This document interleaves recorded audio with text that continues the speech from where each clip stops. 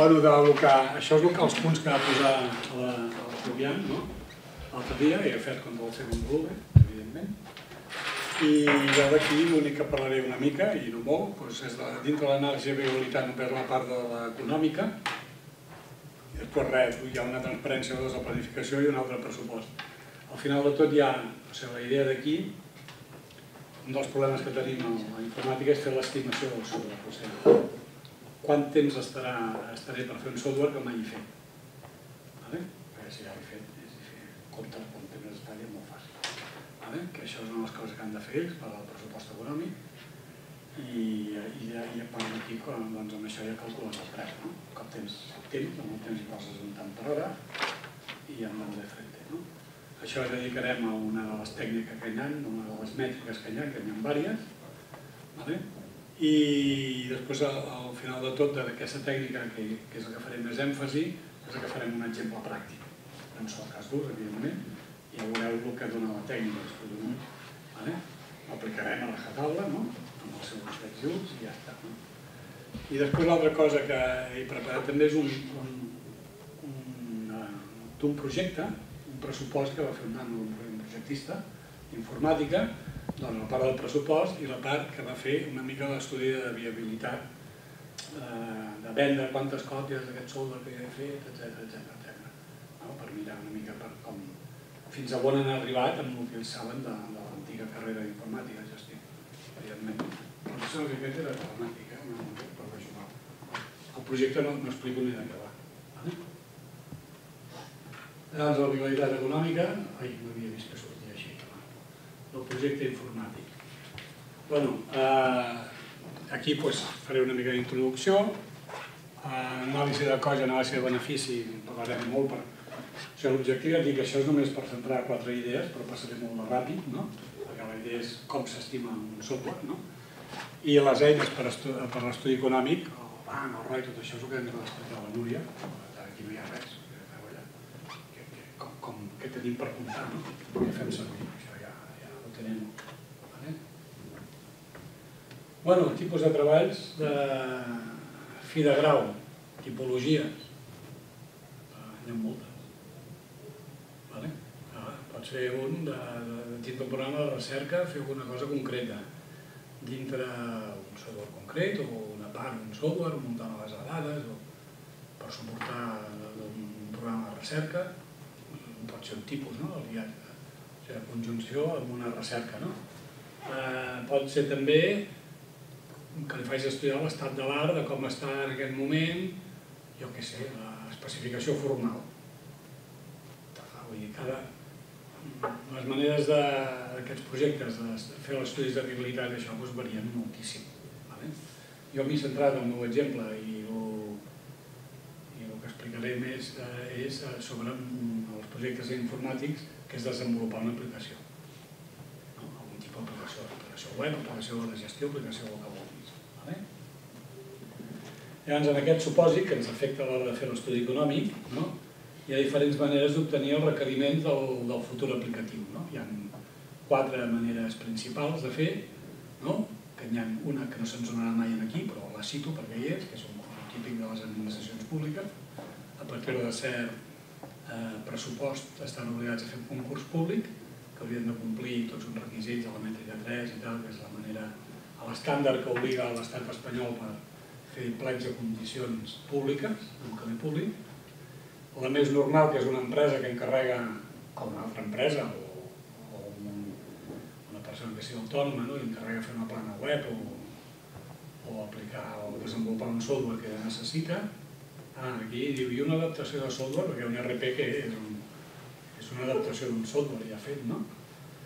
Mm, també es podia eh, fer com a projecte, no?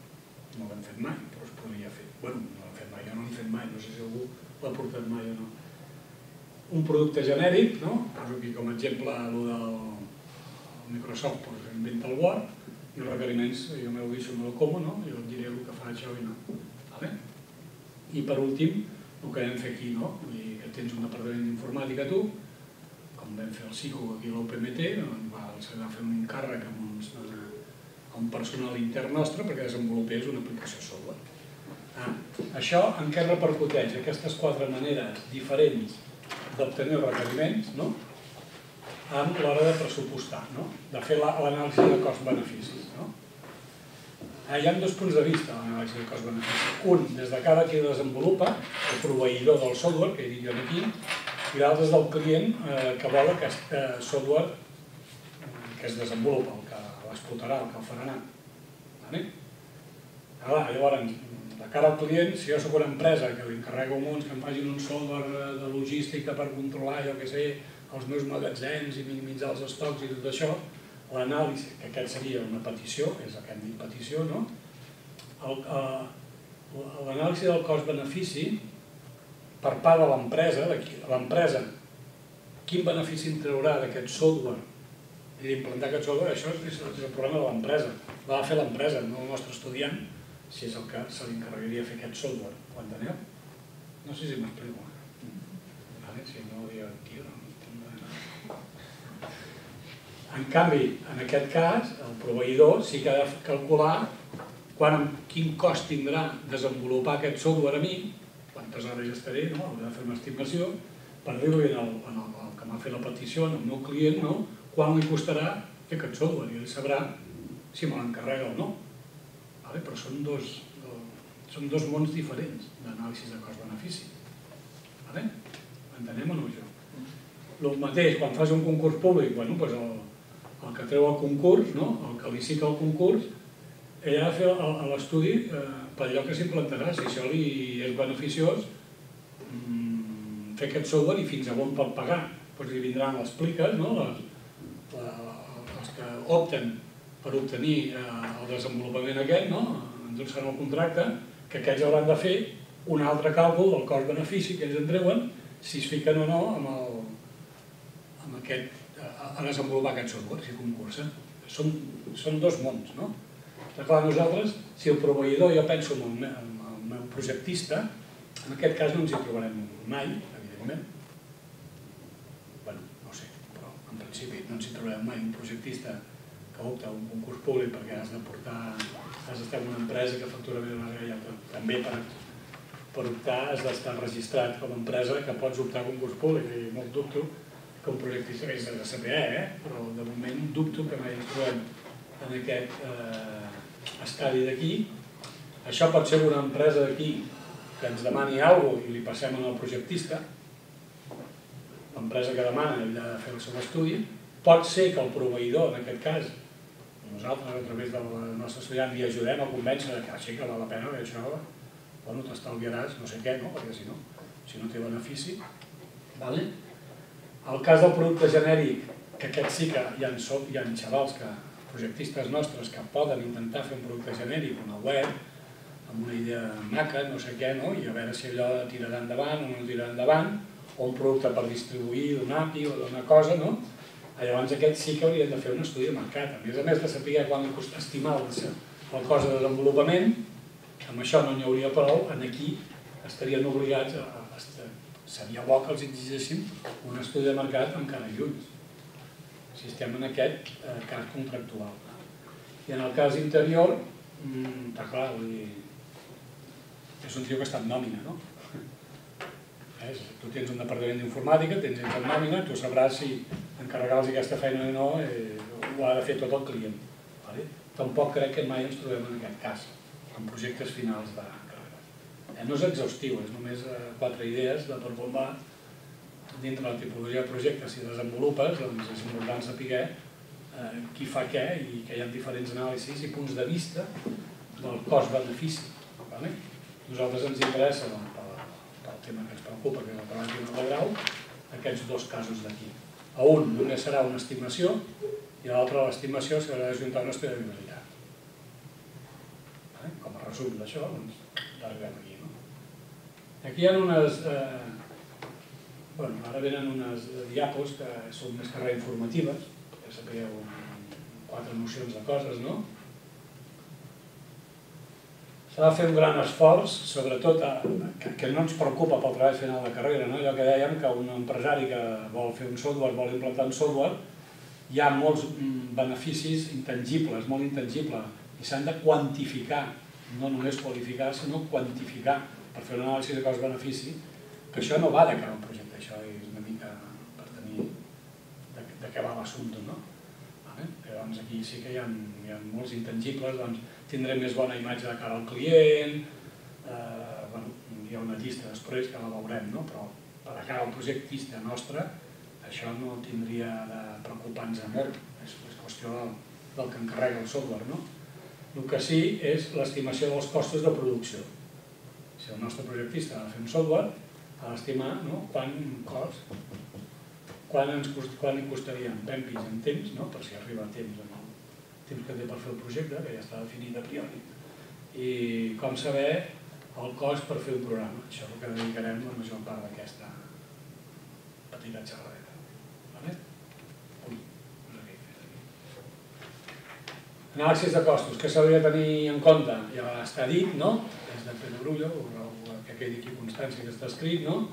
El cost del maquinari per al desenvolupament, evidentment ja l'amortitzarem, parlarem més endavant, no? I quan tu dius als alumnes que amortitzin, si, fan servir per desenvolupar un portàtil, un sobretaula que va al camp, doncs no imputaràs tot el cost, perquè quan acaben el projecte no el llencen, aquest maquinari, no? Bueno, si el llencen sí, no? Però, però si no hauràs d'imputar alguna part, veurem com, com fer-ho això. El cost de la llicència, si n'hi ha, si aquestes llicències també es fan servir per fer alguna més, tampoc imputaràs el 100%, però hi ha una part del cost que l'haurem d'imputar en aquest desenvolupament de software. Vale? De programació bàsica d'ofimàtica, doncs per redactar la memòria, si, tenen, si, no, si no fan servir software lliure, si no, tots aquests costos són zero. No? Vale?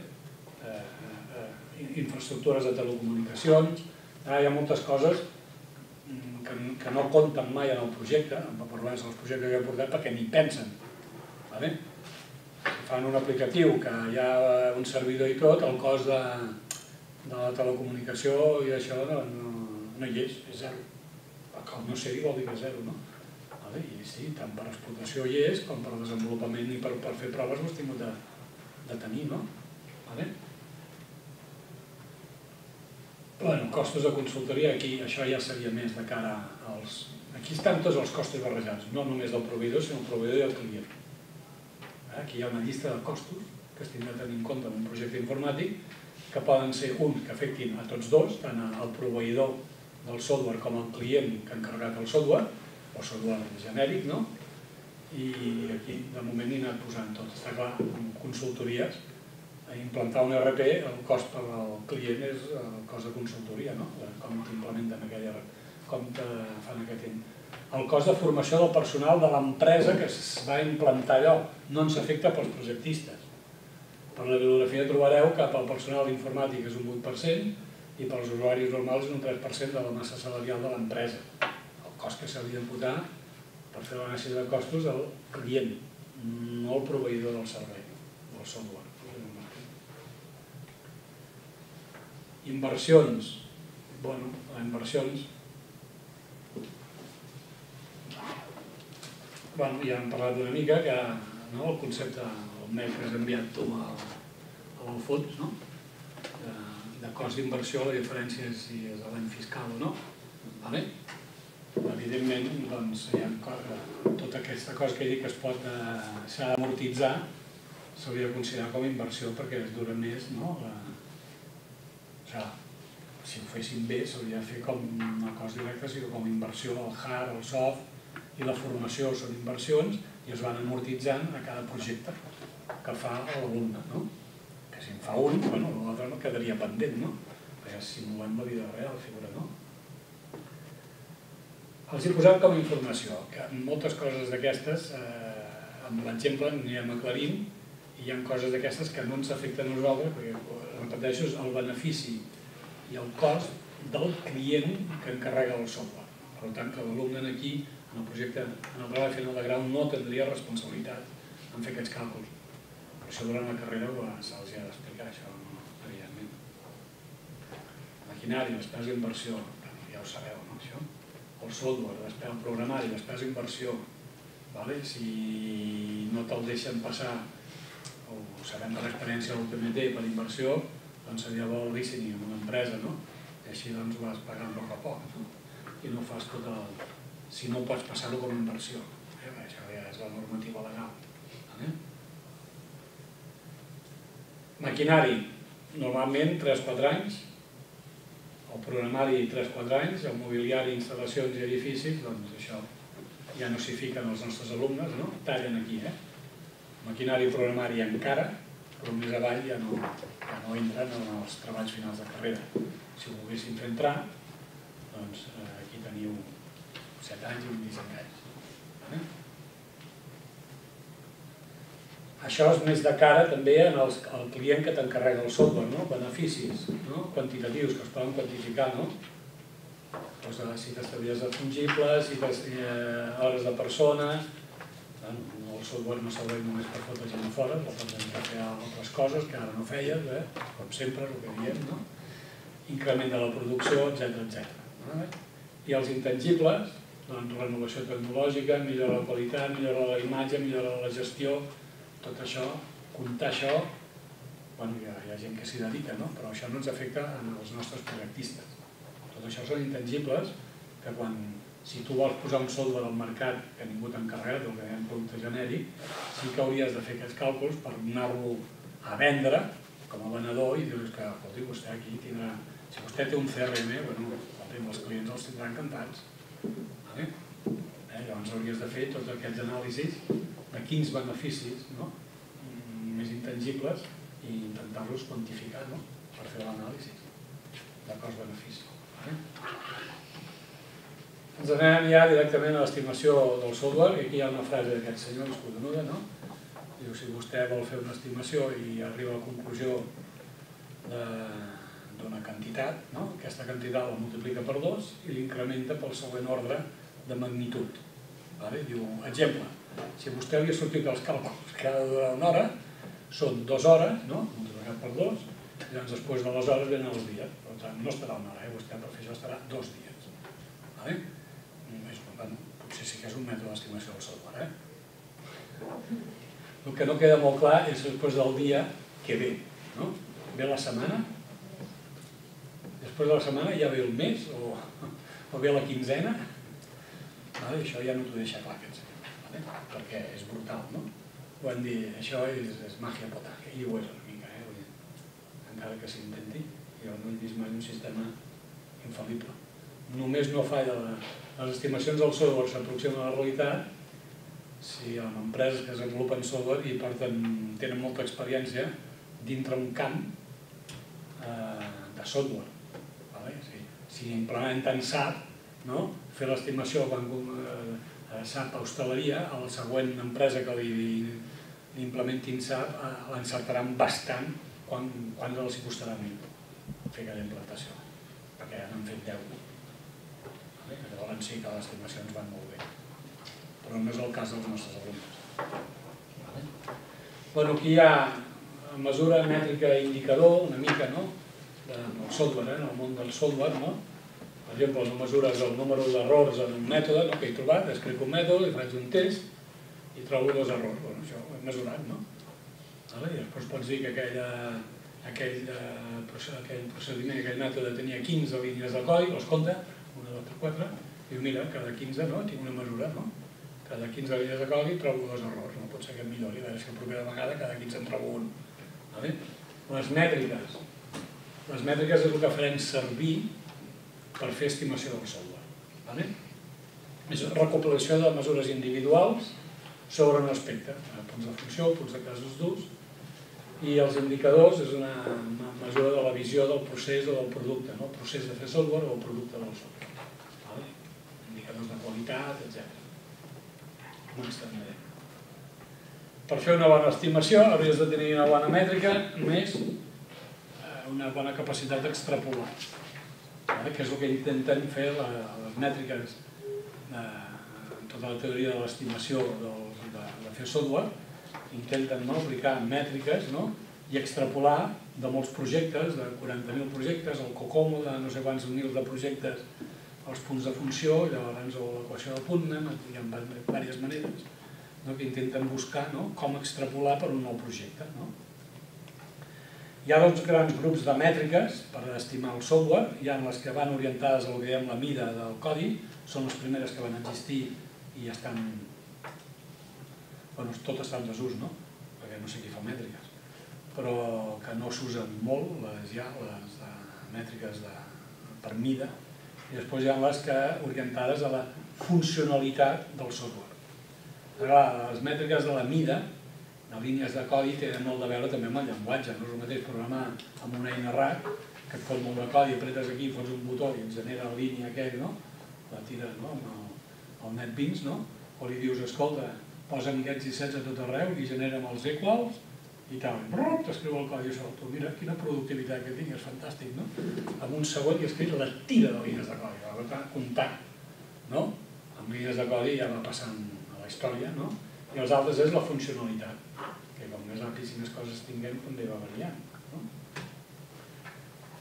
Només en farem una, eh, del mètode d'estimació, però nombro amb dues diapositives l'altre. No? Les de línia de codi el que fan, les orientades a la mida, les que abunden més són les, les que en diuen de logs o quilologs, no? que compten, no? totes les estimacions per línies de codi, o, qui, o mils, de cada mil línies de codi, no? i d'aquí treuen la productivitat. Una persona per al mes, unitat de temps, eh?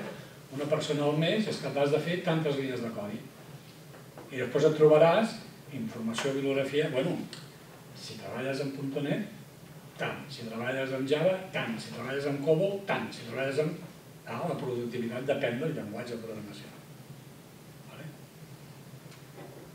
També, no? Eh, qualitat, no? estimacions de qualitat, errors de codi, etc. En aquestes d'aquí eh, aquestes eh, mètriques d'estimació, quan parlen de línies de codi, ho, ho enclouen tot, eh? totes les necessitats, les activitats necessàries per arribar a tenir el seu anàlisi, disseny i implementació.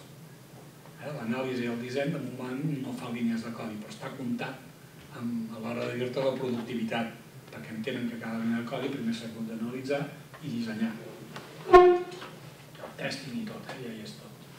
També hi ha un altre que és el Cocomo, que està actualitzat l'any 2000, no? va començar l'any 81, hi ha una organització eh, que vella pel Cocomo i va traient les seves estadístiques de com va, van mirant projectes i actualment el Cocomo el que et diu, per almenys mira seguint el procés unificat, que és de l'any 2000, aquestes dades són de l'any 2000 del Cocomo, us poden servir d'orientació, no? El Cocomo només mesura això d'aquí, mesura el procés unificat, vale? que divideix el, el procés de fer software, el divideix un, un dos, tres, quatre etapes, no?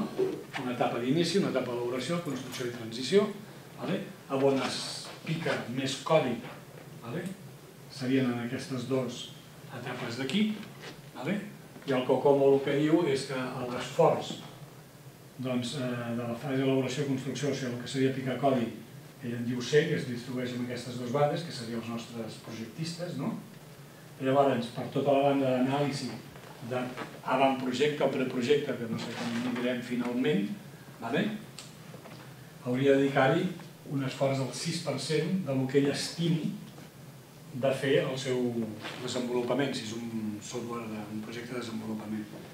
I després la transició, com no en tenim nosaltres la transició, perquè bueno, no sé que la vagi implantar a casa del client, no? tindries d'afegir-hi un 12% d'esforç de respecte del 100% d'ell estat per desenvolupar aquest software. Si nosaltres no fem transició, acabem amb prototipus ja bastant acabadet, doncs acabaríem per aquí. No? I en quant a la durada, també, no? si això és el 100% de la durada, doncs has de dedicar-te un 12,5% del temps que duraria la teva estimació de desenvolupament no? per anàlisi, disseny, avantprojecte, etc. D'acord? Vale? Bueno, teniu aquesta diapo i és una orientació de molts projectes fets que el Cocomo ha d'aquesta conclusió.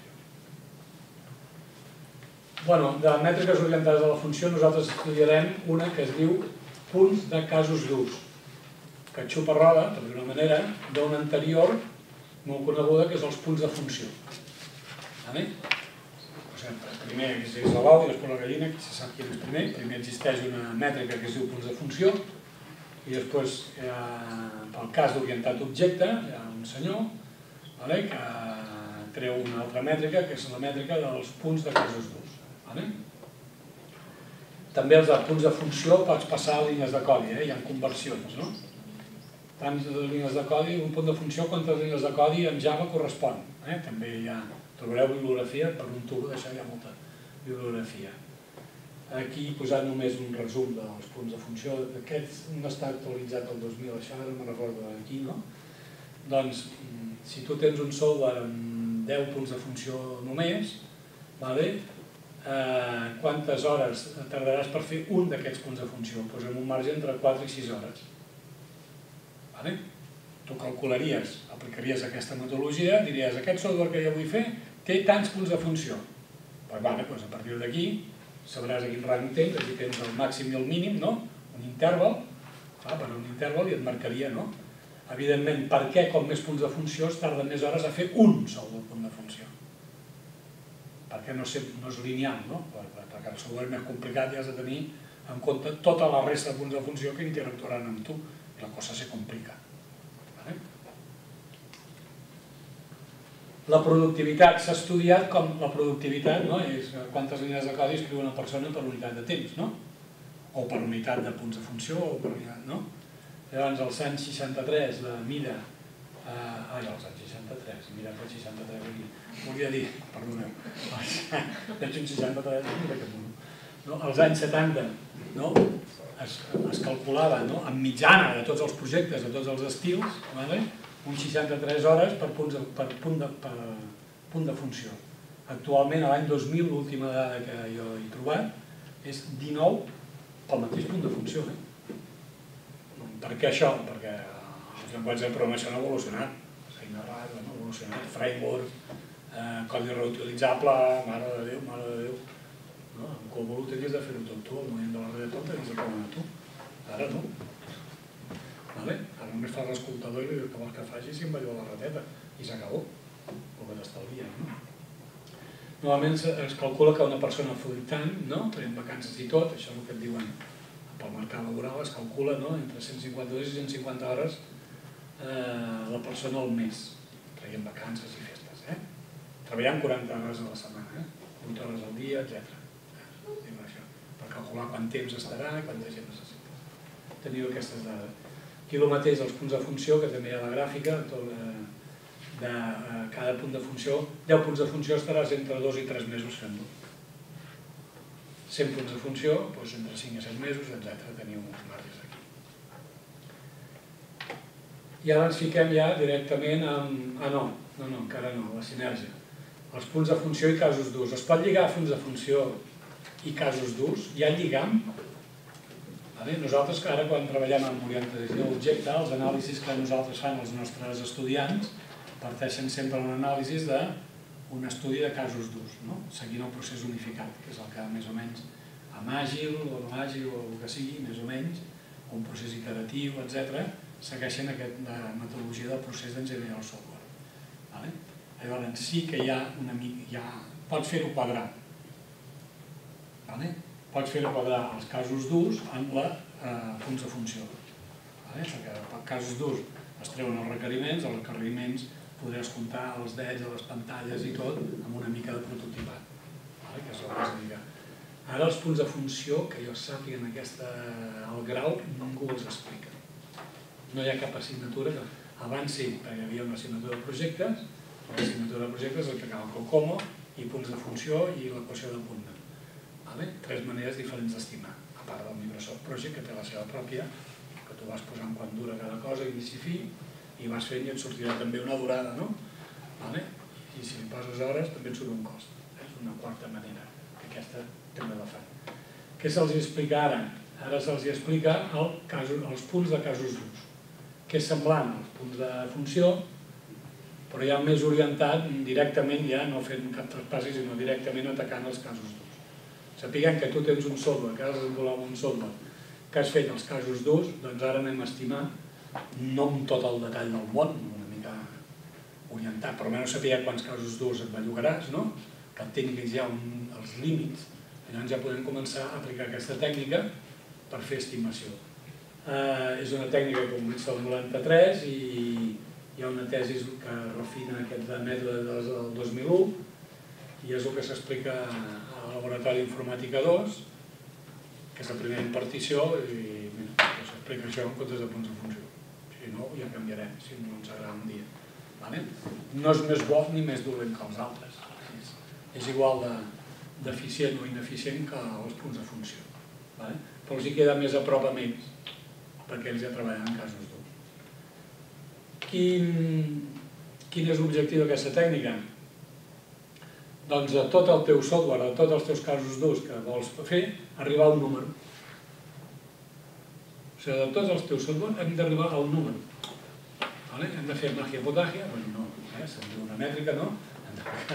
Hem de fer una sèrie de càlculs, no? que és, sí, són una mica així, eh? sugèneris, i arribes a un número, no? i aquest número pues, serà l'esforç o la durada, i després això, si saps les hores, que tardes, a partir d'aquí doncs, ja pots ser el, tre, el temps, eh, perdó, el preu, i podràs treure eh, doncs, eh, quan si poses dues persones o tres com varia la productivitat, ja pots fer càlculs, no?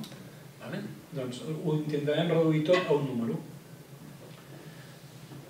Quantifica la complexitat del sistema eh, per produir una unitat. O sigui, dels casos durs no? Diuen, bueno, com més casos durs, eh, més, és el sistema, però potser tens un sol cas durs que és la, la repera, no?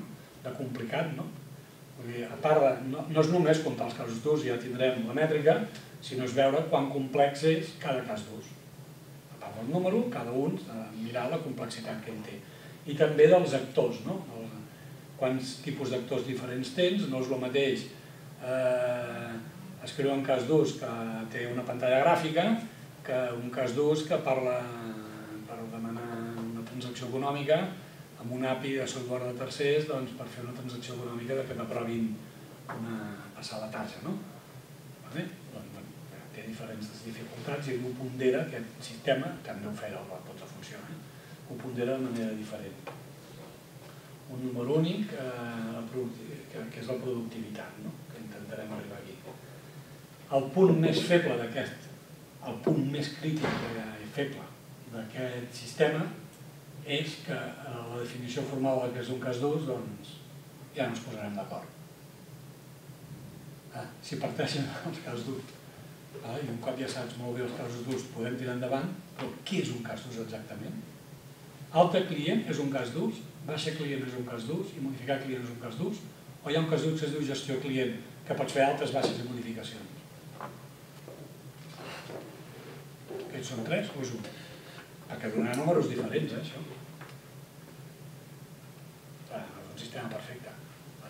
Us he posat una referència, aquí, és d'una universitat, és un PDF petit, no, no té 12 pàgines o així, que pels que bueno, tenim dubtes dels casos durs, doncs vas allà i pots no estar-hi d'acord, eh, amb el que diu aquell senyor. Vale? Tampoc és cap gran aquest senyor, però bueno, ha fet un resumell de, ja posa exemples, no? aquest mateix exemple, si són tres casos d'ús o no, com esbrenar casos d'ús que falten, no? eh, com esbrenar si una cosa és un cas d'ús o està subsumida en un altre, bueno, està bé. Per aclarir una mica no? que és un cas d'ús, doncs aquí aquesta referència eh, pot ajudar. Bueno, a mi m'ha anat bé, per això us l'he posada. Llavors, el mètode aquest, el mètode, és el use case eh, point, no? És UCP vol dir els punts de casos d'ús, en anglès, use case point. Eh? Vale? Llavors, aquest mètode diu, bueno, dels casos d'ús mm, es deriven els requeriments. Vale? Estem parlant del cas d'ús, que vol dir que tens la precondició, la postcondició, tens la fitxa al cas d'ús, eh? tens els normals, els steps bàsics i el, el flux alternatiu. No? No amb tot el detall del món, perquè estem a les primeres fases no, d'una anàlisi, per almenys una mica mm, identificats tots els que vols, que acotat el teu problema quin és, sí, per tant has d'haver identificat tots els casos d'ús, una descripció breu de tots, els hauríem de tenir, si no, no podem aplicar això. Vale? I dels que fan més mala pinta, que t'hi jugues més, una mica el detallet no faria mal abans de posar-te a fer l'estimació, per saber què trepitgem. Vale? Consell. Són tres fases. Després això és un ratllo. I després agafarem un exercici, no? que és un caixer automàtic. Jo tinc aquí un Excel, ja tot, tot el rotllo aquest ficat en l'Excel, posarem números i et sortirà al final. Pim, màgia tota. Vale? Explico molt per sobre que va. És molt semblant, si algú sap punts de funció, és molt semblant. No? Primer, calcula el, els punts de casos d'ús no ajustats. El, el mètode de funció calculava, és que s'inspira en l'altre, eh? I ho diu, eh, l'autor, no se n'amaga pas. Eh? Calculava no, els punts de funció no ajustats. Després els ajustaves i al final, a partir d'aquí, ja començaves a fer altres períodes. No? Són tres passos. Està en castellà perquè ha fet mandra traduïdo al català. És control C, control V, és una imatge. Pim, pam. Eh? Pues, tio, si està en castellà i tots l'entenem, doncs, eh? i això Albert et dona un parell de puntos. Primer, què es mira? Es mira quin tipus d'actors hi ha. No? En tot cas d'ús, hi ha un actor principal que l'engega. Sigui una persona, ara l'actor en teoria de casos d'ús és una persona o un altre software, eh? un altre software o una persona. Hi ha algú que ha d'iniciar el cas d'ús, o un rellotge, el sistema, però hi ha algú que l'inicia. No neixen espontàniament. Vale? Pues això és el que ell en diu no? el, el pesar els actors. I després, com és no ajustat, és pesar cada un dels casos d'ús. Vale? Un cop tinguem el punt 1, tornem a aquesta diapo, anirem pel punt 2 i al final anirem pel punt 3. Vale? Primer anem a veure com pesa els actors i com pesa els casos d'ús. Com els hi dona pes. Tots són iguals? No. És fàcil, eh? Fins aquí els xavals ho entenen molt bé. Vale? Llavors, el pes dels actors. Ell et dona aquesta taula. Continua castellà. Eh? Continua aquesta taula. Diu, a veure, diu, poden haver-hi tres, eh, tipus, tres eh, pesos diferents per cas d'ús, per actors. Vale? Si hi ha una interfície gràfica, que és com treballem nosaltres, vale? si l'actor d'aquest cas d'ús eh, eh, utilitza una interfície gràfica, direm que aquest actor és complex i val 3, per definició de la metodologia, de la mètrica ni dos, ni un, ni mig, no, tres, s'acabó. Vale? Un problema que hem trobat explicant això, amb, un exercici més complex el que farem aquí, perquè aquí només hi ha un cas d'ús i un lector, llavors és molt fàcil, no pots confondre mai, no? El lector aquest, que serà treure peles d'un caixer automàtic, és gràfic o no és gràfic? Sí, serà gràfic, no? Eh, tota la pantalla gràfica. Vale? Per tant, és un sol lector, complexitat 3. Pues 1 per 3, 3. Tu ja tenim el pes dels actors. Així de fàcil. Els hi vaig fer això amb un programa més gran, que era una gestió d'un hotel i tal, i hi havia el recepcionista. Era un dels actors de casos d'ús, quan arribes a l'hotel, el recepcionista. L'agència de viatges era el que et feia la reserva a l'hotel. Hi havia el, un actor, uns casos d'ús, que l'actor era el que treballa a l'agència de viatges, no sé com li vam posar. Hi havia el camarer del restaurant, que, que si vas a sopar i tal, doncs per carregar-te tal, no? Aquell també interactua amb el servei i té els seus casos d'ús. Llavors, al fer això, em van dir que hi havia, no, el pes dels actors, hi havia tres actors diferents. El recepcionista, sort que no van posar el Pepito, la Juanita i l'Antònia, no? Perquè, perquè llavors ja, això ja és el desmadre, no? A veure, això són rols diferents. Són rols diferents d'un mateix actor que, que actua amb interfície gràfica. És que si no, llavors, els sortien uns números, bueno, la gestió, no hi hauria un hotel amb informàtica en el món, eh? Això ho fan els alumnes, no? Ho enteneu o no? Una cosa són rols i l'altra són tipus d'actors. A tipus d'actors en hi ha dos, tres. Els que treballen en interfície gràfica, tots tres rols treballen en interfície gràfica, un. Eh, Despista, eh? Despista on s'ha. Consti. En canvi, l'altre, cuidau que comença a variar una mica. Llavors, si utilitzem un API un API o un framework de tercers, no? perquè el meu software s'ha d'adequar a coses de tercers. Llavors, quants casos d'ús no? tenen com a actor principal no? un software de tercers? Està clar, si el software de tercers l'utilitzo moltes vegades, compta un. Si hi ha tres softwares de tercers, aquí no em comptis un, aquí sí que són tres, perquè tindràs tres dificultats. O sigui, compta guius i compta diferents APIs. No? Almenys això és el que jo he interpretat. Vale? I la, bueno, si és en línia, no? ja no hi ha, no? el procés en línia, o amb coses de protocols, no? diu que és complexitat mèdia. No? Si has de un protocol per enviar coses de comunicació, és un 2. Vale? Quants casos d'ús hi ha que usem el protocol? Vale? Com a actors. El pes dels, de, del cas d'ús també es pesen. Vale? Aquí poden valdre o 5, o 10 o 15. Hi ha dues maneres de fer-ho. Els hi vaig explicar una i no me'n van fotre un disbarat, que és per transaccions. Les transaccions a bases de dades, si hi ha persistència, o transaccions a, a, a nivell de domini, de, de cas d'ús. No?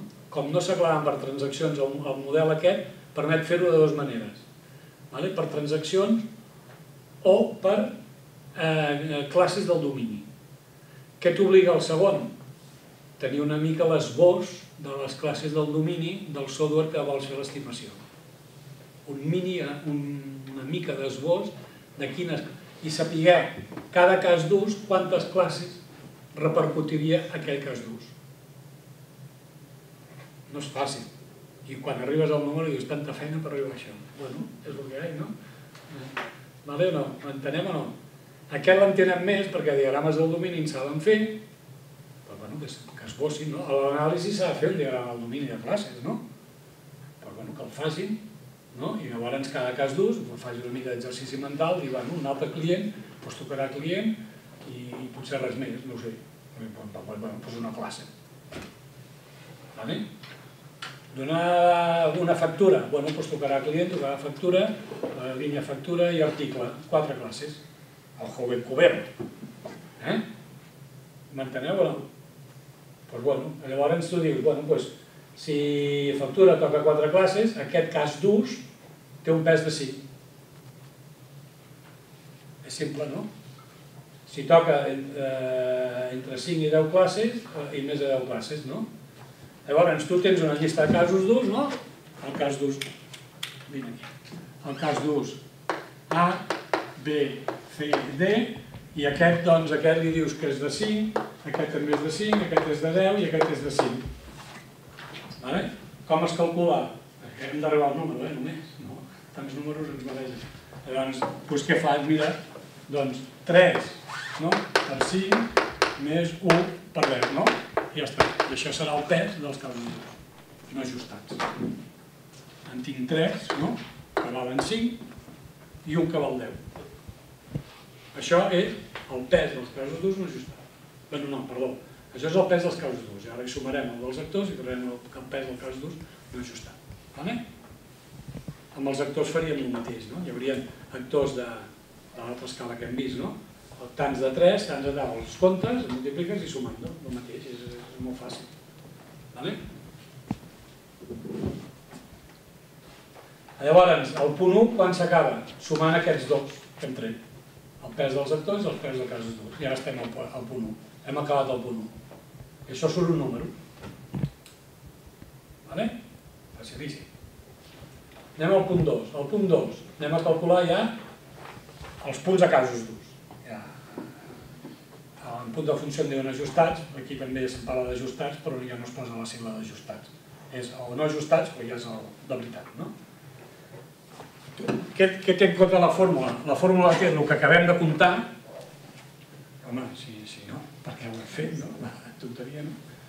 I llavors, una sèrie de factors tècnics i una sèrie de eh, factors ambientals. Eh, veureu el que són els tècnics i els ambientals. Però això ja no es fa per cada cas d'ús, això es fa del projecte. Ara ja els casos els abandones, ja el tens, ja els tens pesats. I ara anem a veure el projecte. El meu projecte software, quan té, quin número té, quin número em dona els, eh, els factors tècnics i quin número em dona els factors ambientals. Tot el projecte. No em mireu cas d'ús per cas d'ús. Vale? Perquè l'exemple, fem un sol cas d'ús i llavors dius, ah, i això es fa cada cas d'ús. Però no fem un sol cas d'ús perquè només en tenim un. I és tot el projecte, no? Vale? És un mal exemple. Però bueno, és per nosaltres.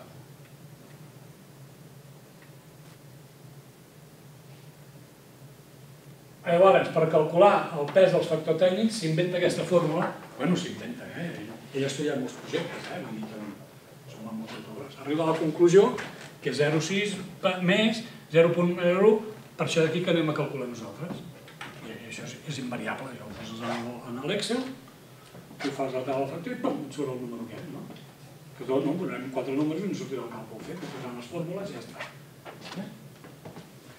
Llavors, com es calcula el factor aquest? Diu, hi ha 13 factors tècnics, ni un més ni un menys, en aquesta metodologia. Els punts de funció tenen les seves taules, també. I són semblants, vull dir, no, no, no, hi ha més, no? La pregunta, és un sistema distribuït, sí o no? Però no aquest cas d'ús, eh? El teu software és distribuït o no? Eh, jo què sé, eh, eh, ha de tenir en compte la facilitat d'ús? Sí o no? Bueno, no sí o no, eh? no és blanc o negre, eh? cuidao. Vale? Llavors, cada un d'aquests factors té aquest pes. Llavors, tu els ponderes. No? Agafarem i això es diu, vale, el meu sistema, jo vull fer un caixer automàtic. És un sistema distribuït? Doncs pues, irrelevant, no ho és, i pots donar de 0 a 2 de valor. Ah, si no, no, no, un 0. Vale? I aquest factor tècnic no entra perquè no, no, no? Vale? O, o és mig, de 3 a 5, li pots donar valors entre 3 i, perdó, entre 3 i 4, aquí posa 4 i he dit 5, m'he equivocat, vale? i si és essencial, li fots un 5 i s'ha acabat. No? Del teu projecte, no en el cas dels que aquí els alumnes em van ficar la pota per culpa de l'H. Vale? Sortia uns números, tot plegat. Aquests pesos no els pots tocar, no? llavors tu vas aquí dient, bueno, això doncs jo aquí, aquest, aquest projecte, doncs, amb la teva sapiència, amb el que tu sàpigues, vale? amb el que t'hagin exigit de requeriments, tu li vas jugant, en, en total, tot ha de entre 0 i 5, no, no, no, no hi ha més, no? Vale? Tu decideixes, no? Primer decideixes d'aquests tres rangs, també podies dir, doncs posi de 0 a 5 el número que la meva gana, no? Però bueno, mira, ho fan per fer-ho més bonic. Vale?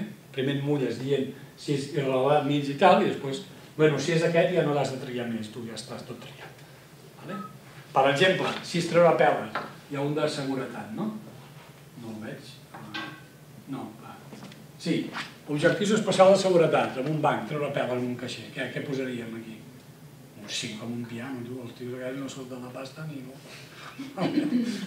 El software aquest, bueno, si surt de la pasta, és que si ja surt de la pasta, no? Eh? Enteneu? Jo posaria un 5, eh? Cadascú que posi el que vol. Enteneu o no? N'hi ha de peregrulla i n'hi ha que pues, els xavals els costa més o no. Vale?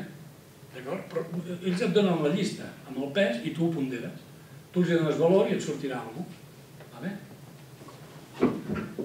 I després, un cop tens els, el, el, els factors tècnics un un fer, li, li fots la fórmula aquesta, no? Hauràs calculat això, sumatori de tot, hauràs calculat això. De les 13 preguntes tens un número, que és aquest. Li apliques això, i tindràs el, el pes del factor tècnic.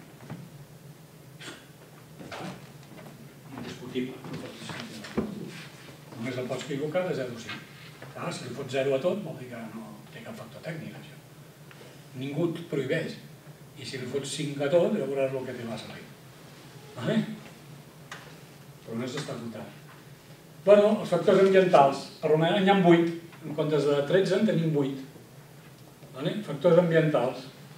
Familiaritat con el modelo de un proyecto utilizado, està en castellà, eh, perquè és control C, control V. Eh, experiència en l'aplicació, amb el tipus d'aplicació, s'entén? A veure, ja em poso només el resum aquí, ha tota la bibliografia que t'explica més què vol dir cada cosa d'aquestes. Ho resumim en una frase. No? Però per treure ambigüetats a la frase l'hauries de llegir més. No? Vale? Eh, motivació. Vale? Factor ambiental, no? pots estar motivat, tot motivat no? per fer això. Personal a medio tiempo, dificultat en el lenguaje de programació, eh? i en canvi aquí hi ha la E3, jo ho he trobat curiós, la E3 i la E8, no? experiència en orientada a objeto, està pensat en casos d'ús per orientat a objecte, aquesta mètrica. Però pots utilitzar algun altre llenguatge més de client, no? A millor saps orientat a objecte, però no .net. Saps Java. Se siente, no? Vale no? I llavors això, aquí tens, no? Com ho ponderes, no? També va de 0 a 5. Com veieu, també va de 0 a 5. Vale? Els pesos són inamovibles, n'hi ha de negatius, eh?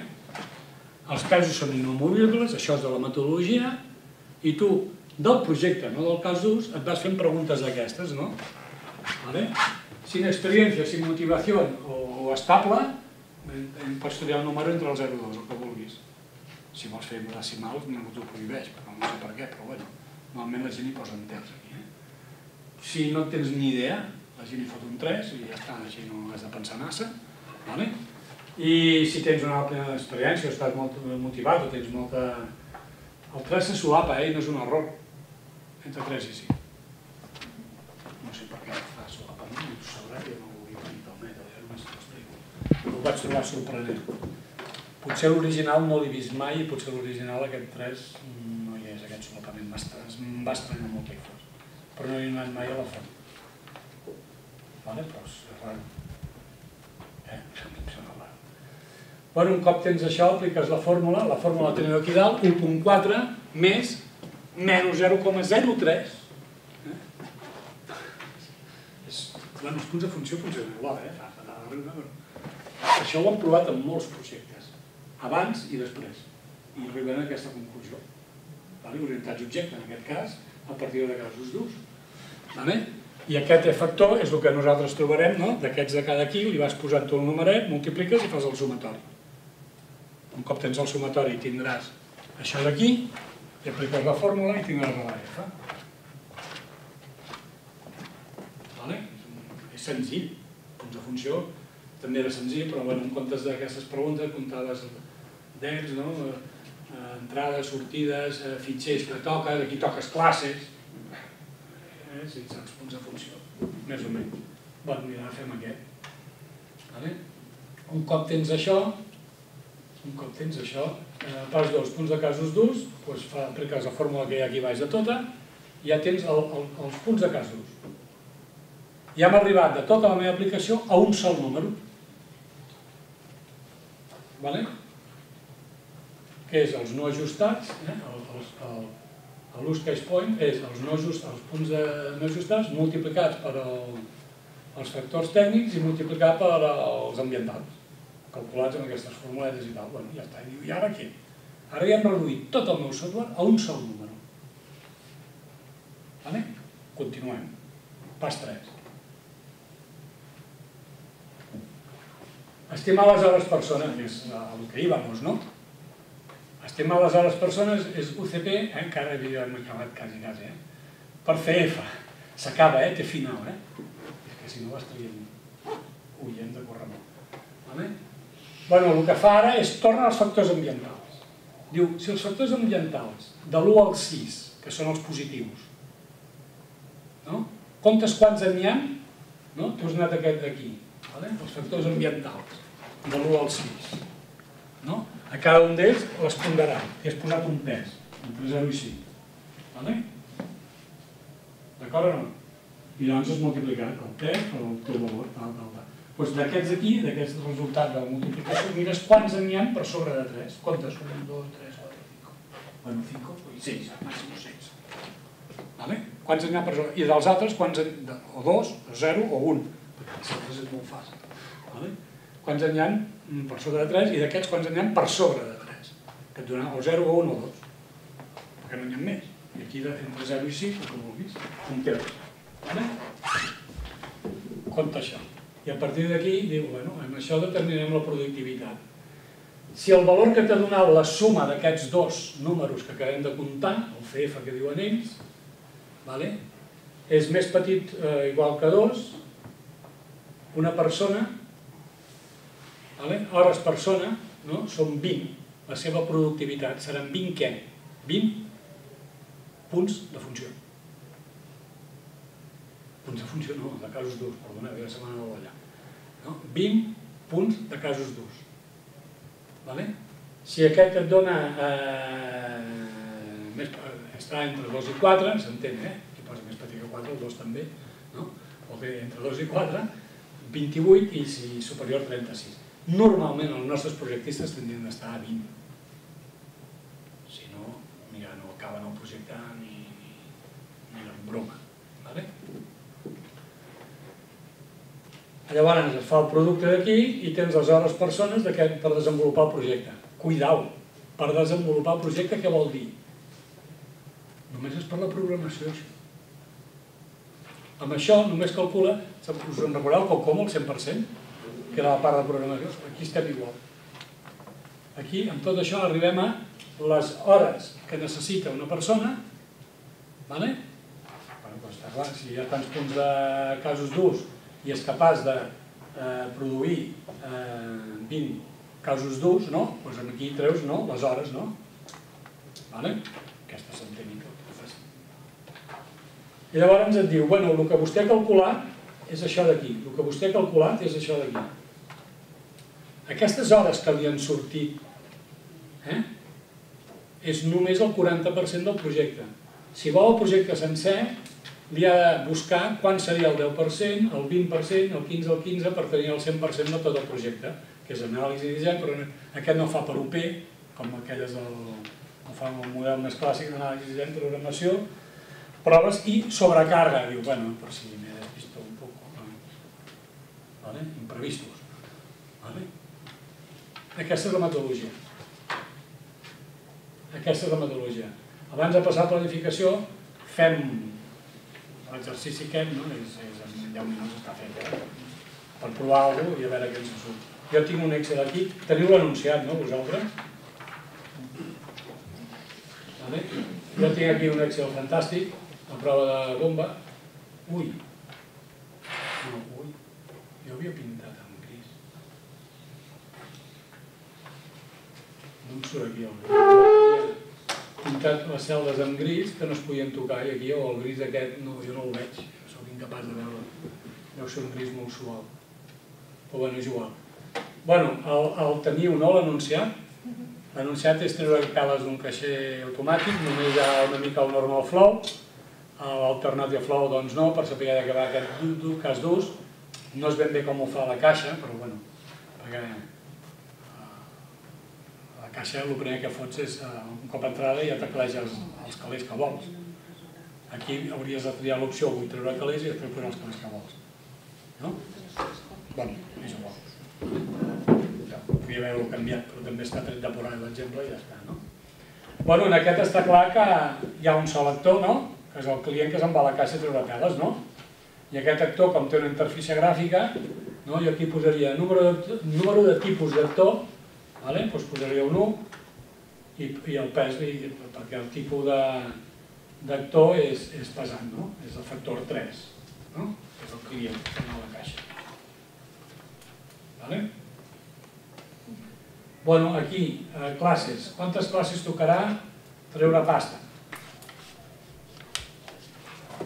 No sé, no? Uh, quantes classes tocarà treure pasta?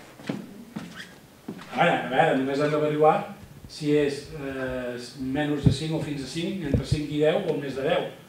Tampoc hem de dir el número. Eh? Té un factor de 5 de 10 i no ens interessa res més.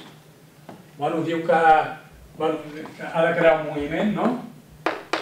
no? Alguna classe de moviment, no? S'ha de crear un nou moviment, no? Diu, ho deixa entreveure algun step d'aquests, no? Per tant, el moviment haurà de tocar. Eh, haurà de validar el login, el login, el password el, password de la targeta, potser hi haurà algú que és una, una, una targeta, no? Sí, o no? no? Eh, haurà d'esbrinar si el mínim de la targeta per dia i tal, això està a la targeta o hi ha tipus targeta i totes les targetes que són de dèbit tenen això, tampoc sé com ho fa la caixa. No? Podríem dir, potser hi ha tipus targeta, potser no. Bueno, s'hauria de fer una, una, una mica una anàlisi acurada, estem fent un exemple, no sé, vaig a posar per fer tipus T, no? tipus targeta, vale? Uh, la, el compte associat a la targeta, s'ha d'actualitzar el saldo de la compte, tot i que és calculable a través dels moviments, bueno, doncs el compte. Bueno, estan relacionats, eh? tot això doncs, tenen relacions, no? això no m'importa ara, no? Què més? Ah, l'identificador del caixer també, no? S'ha de posar en el rebut l'identificador del caixer, que també es posen al moviment, bueno, en algun lloc els tindran, no? els identificadors del caixer, no surten, bueno, potser hi haurà no? eh, caixers, els caixers de l'entitat. Vale? 1, 2, 3, 4, 5, bueno, ja estem en el límit de 5, i ara és quan dius te la jugues, diu posa 5 o poso entre 5 i 10. Vale? he agafat aquest perquè dic, ei, ei, si continues Eduard igual en rebes més. Igual aquest no hi és, jo què sé, no? Una, hi ha un límit diari no? per treure, no? I a més tenim la mensualitat, no sé si depèn d'aquí. I jo què sé, no? El client, el, el, el, el, el PIN suposo que guarda en la targeta, no? Perquè cada targeta només té un PIN, un PIN, no? suposo que serà guardat allà. La data de caducitat també, si s'activa també, tot això són atributs d'aquí, m'imagino, no? M'enteneu o no? Fa així una mica, eh? estem a la part d'anàlisi, no estem implementant res. Només encara estem mirant si, si això sortirà els números o no, no t'hi matis molt. Anem a posar 5. Si, el, si voleu, després canviem només el número, recalcularà tot i ja està.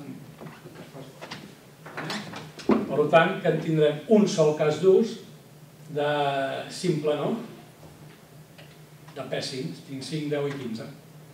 Bueno, total, punts de no ajustats a casos d'ús, 8. El número de casos d'ús no ajustats és, dona 8. Perquè és una suma algebraica, no? 5 més 3. Vale? Fàcil. Bueno, i ara sí que ens haurem d'anar mullant, no? Aquí tinc els 15, aquí tinc la llista. Vosaltres teniu això i em aneu dient que poso aquí. Vale? Eh, és un sistema distribuït? Sí. I dintre el sí, bueno, doncs ja del 0 al 2 ens en oblida. Irrelevant que no serà, no? Llavors, és, és un sistema distribuït de la l'hòstia, l'hòstia o normalillo, normalillo. Què fem? Hòstia, normalillo. Però és igual, posem alguna cosa. Eh? Vosaltres no aneu, eh? Difícil.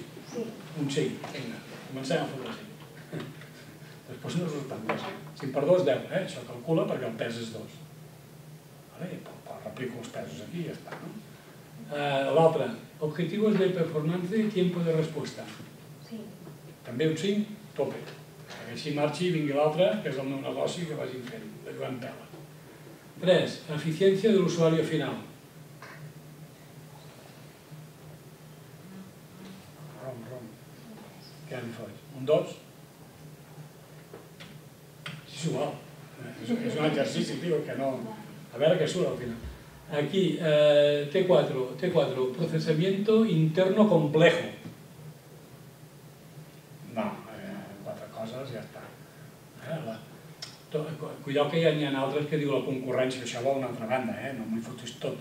Oh, com que té concurrència és complejo, la concurrència també, ho castigues dos cops. Eh, això heu de... S'hauria de mirar la lletra petita de cada frase d'aquestes, eh, repeteixo, per fer-ho amb cara i ulls. Segundo. El T5, el código debe ser reutilizable. El de la caixa al costat, que és el Miqui, jo què sé. No ho sé. Anda ja, que le voy a pasar yo mi código. Per quan canvin de caixer, eh? Per quan canvin de caixer, pues, sí, bueno, què hi posem? 4? Bueno, anem fent. Uh, T6, uh, facilitat d'instal·lació. Important, molt important, no tant. Eh, que al final fots 5 a tot, allò no les coses tan caríssimes. No sé, eh? Enteneu, no? Que es trobarà l'estudiant? Un 3, vinga. Jo què sé, aquí, eh, facilitat d'uso. Sí, home, això sé que els interessa. Això, això. Es queda mitja hora iaio allà, no, el caixer no dona res. Eh, T8, portabilitat. Zero patateu, jo podria, però bueno, vosaltres direu. No, perquè després es fusionen amb la caixa de can... De can... S'ha de reescriure. I de tornen a picar nou. Home, llavors... Bueno, no sé, posem un 2. Vale. Jo jo he fotut un 0, eh? T9. Eh, facilitat de canvi. A veure si castiguem sempre el mateix, m'entens o no? S'hauria de mirar la lletra petita, que diu, hòstia, no? ja, ja ho he posat a portabilitat. Això és facilitat de canvi de què? També vol dir, apareix un tipus nou de targeta, o pots treure diners... Eh, A monedes diferents, però en, dòlars...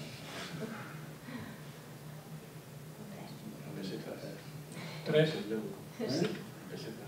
pessetes, ara, ara tornem a la tema, no? Vinga, T10, eh, concurrència, sí. Aquí sí, la concurrència sí, perquè mentre tu estàs tenint pèl, la mateixa compte se't carrega un rebut i a tot no fotem, no? Perquè això per un banquer és, és la màfia, no? És el que pagues el banquer, eh? no ho oblideu. Té 11. Objetivos especiales de seguridad, tots eh, els que tinguis i una mica més si Can Rampi, el que sigui, no? Té 12. Acceso directo a terceras partes. Sí? Ah, bueno, al, a la, a la finestra que s'obre la portilla, la impressora, No, bueno, sí, però és que a més a més tu has de tenir una targeta que no és de la teva entitat i has de parlar, t'has d'apuntar que després passis comptes a la Confederació de Caixes o de bancs, no, eh, que tu de la mia han sacado tanto i quanto te deu a ti, no? la cama de compensació bancària, no? Cristo de por. Fotem un sí. I l'últim, que és facilitats especiales de Ai, no llegeixo entrenamiento a usuarios. L'usuari va allà i a pillar posa targeta 1 i si voleu li fot un 10. Bueno, doncs això surt 1,1 al final, el TCF. Vale? Hem anat a no? la sistemàtica. Ambientales, som-hi. Eh, ja tenim el TCF, 1.1, ja tenim l'altre, 8, no me'n recordo quan era. Vale? Aquí, eh, familiaridad con el modelo del proyecto utilizado. Bueno, tots hem tret peles, tots hem d'acabar, no? tots som molt familiarizados. Amplia experiencia, motivación, estabilidad, que posem aquí, entre 3 i 5. El model de treure peles tothom s'ha d'acabar. O no pregunta això.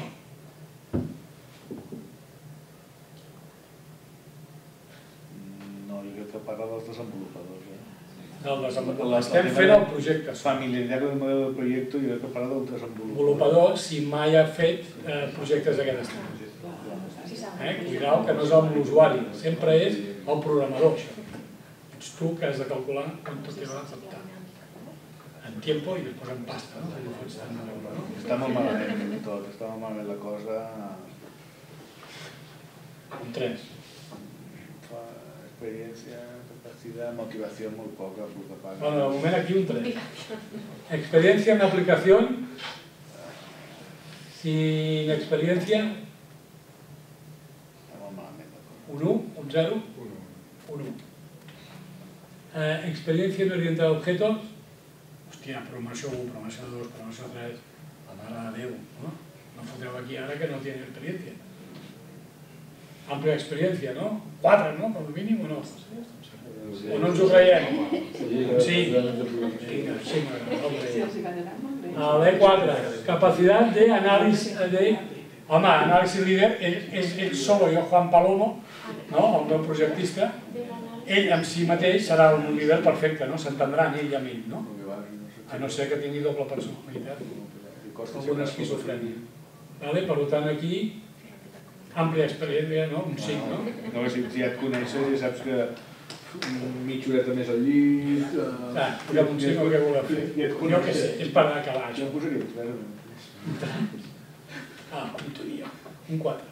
Eh, sí, motivació, l'han de provar, no? Els hi va...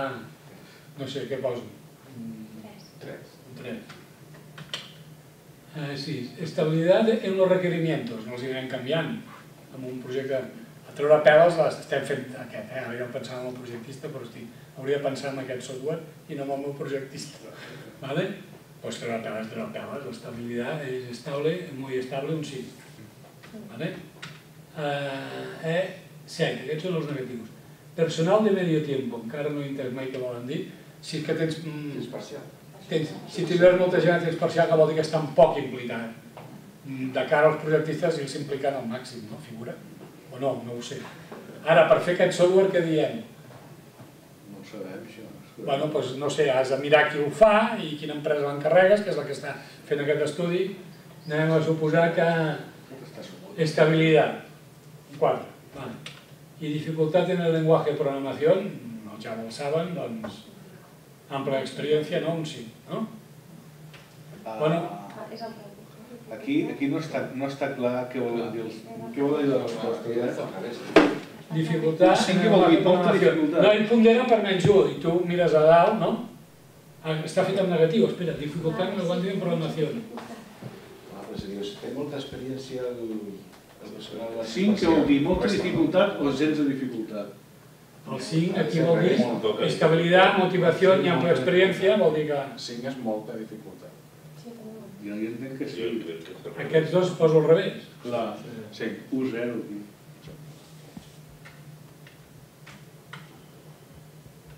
Bueno, total, això ens dona dels que teníem abans, quants eren? 1,1. 8, no? Dels 8, un cop ajustats, ens dona 6.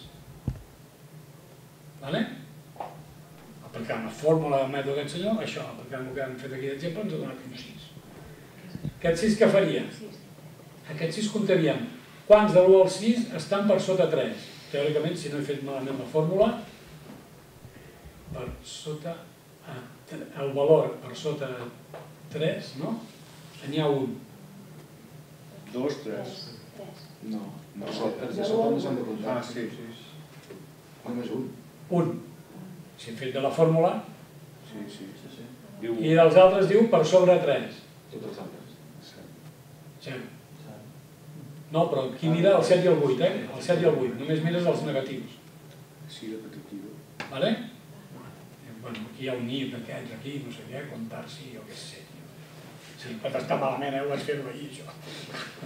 Allà. Eh, Llavors, això què dona? Doncs mirant la taula, això ha de donar 20, no?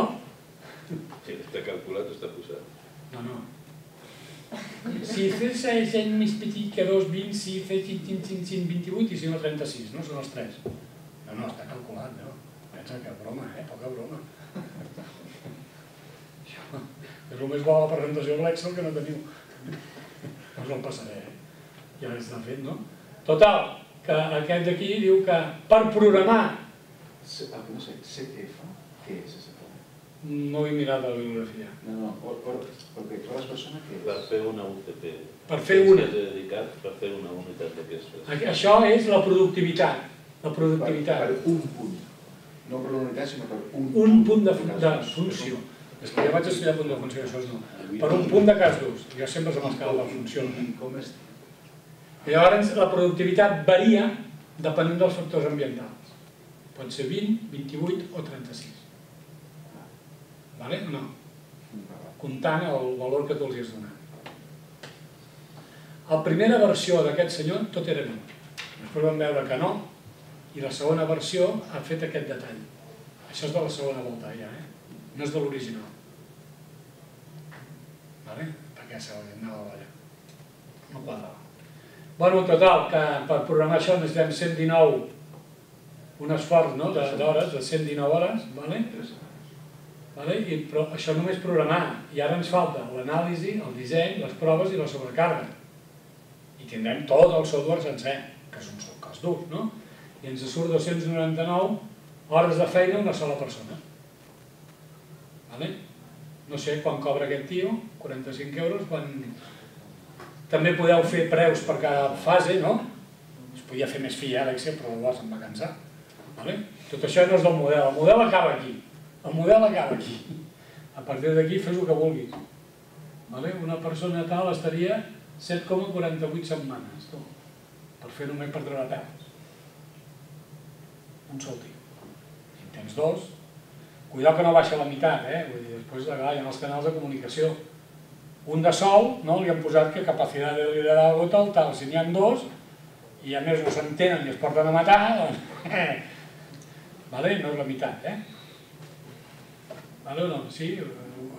Lo pilláis, que diuen a casa meva, les filles. El ves pillau? Que va? És exagerat, no és exagerat, té alguna que veure amb la realitat? Mm, bueno, no ho sé.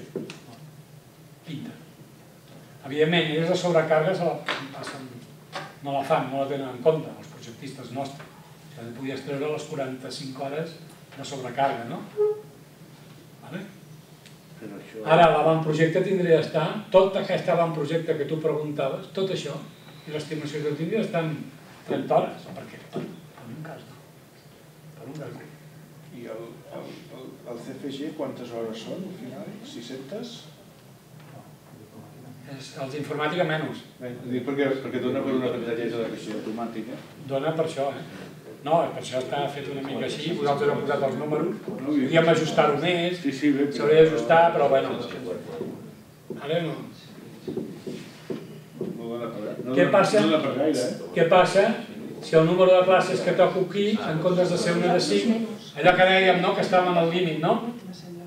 Què passarà si ara aquí poso que en toca 10, que entre, que entre, Deu. 6 i 10, no? Variarà molt, no em fot un 0 aquí, Perquè abans es No, i em poso un aquí, el que no val és que no hi ha cas d'ús, no? No sé quan estava, eh? ara no... 300. Estàvem a 300 i pico, 480. Ens anem cap a 500 ara. Varia, varia, està clar. Això ja és un projecte.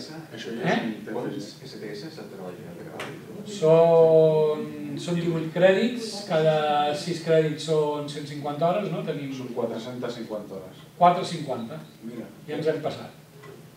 Ja no poden treure calés. Per tant, que seran 5 classes. S'acabó. Perquè si no, no surt. Són 5 classes. Vale. Zero aquí i ja està, ara sí. Vale? La redacció de la memòria també hi és, eh? està tot, i tot, ja està tot. Els presos poden ajustar. Bueno, això és el model. Vale? Aquí. Aquest és el que jo s'explica ara al laboratori informàtica 2. I els altres se'ls nombra, però no es fa res. I fan un exercici a classe, amb mi i tal, i porten un projecte que ells, un grup, que també l'han de fer. O sigui, ho calculen dos cops, amb dos enunciats diferents. Aquí la paradoxa és que ara que els exigirem fer tot aquest treball de gestió per No pot passar. per fer els treballs finals de grau, doncs el que, on es veia això que era a dues assignatures, una que era GSI i una altra GPI, doncs cap de les dues estan a la carrera. Ni projecte, una assignatura de projecte. GPI i GSI. Home, que si no tot això es podia ahondar més, no? que diuen els castellans, no? aprofundir més. No? I l'avantprojecte que tu preguntaves no pot passar 30 hores, va, per aquest cas nostre. No? T'ho diu aquí. Vale? Han d'estar acotats tots els casos durs. Saber quantes classes toca ja ho he vist com ho he fet jo, ni una mica màgia potàgia, no? Buscar els límits. Suposo que hi ha una altra cosa que hauríem de consensuar, que és com es calcula el preu hora. Bueno, jo he posat aquí, jo he fet un preu únic pel projectista. Vale? He fet un preu únic pel projectista. Aquí, analista, dissenyador, programa de prova de sobrecàrrega, podies posar inclús preus d'euro diferents. Bueno, tot això d'això, però a l'hora de posar el 45, quin és el criteri de posar O, 45? o 45 o tal. 100. Bueno, jo, o, o 100 o, o, o 70, una consultoria on tio experimentat se'n va als 80-90 euros, excepte les més bones que ja em cobra més, no? La normaleta. Alhora. En l'exemple que tens després sí que poses un, uns euros. Bueno, ara vinc, ara, acabo, eh? S'acabó l'ejemplo. Eh? Hem explicat un mètode, hem fet un exemple, més o menys veieu per on va la pel·lícula, que és el que es tracta avui aquí. Vale? Si voleu aquest Excel un cop així amb l'exemple solucionat us el enviaré i així li treus els números.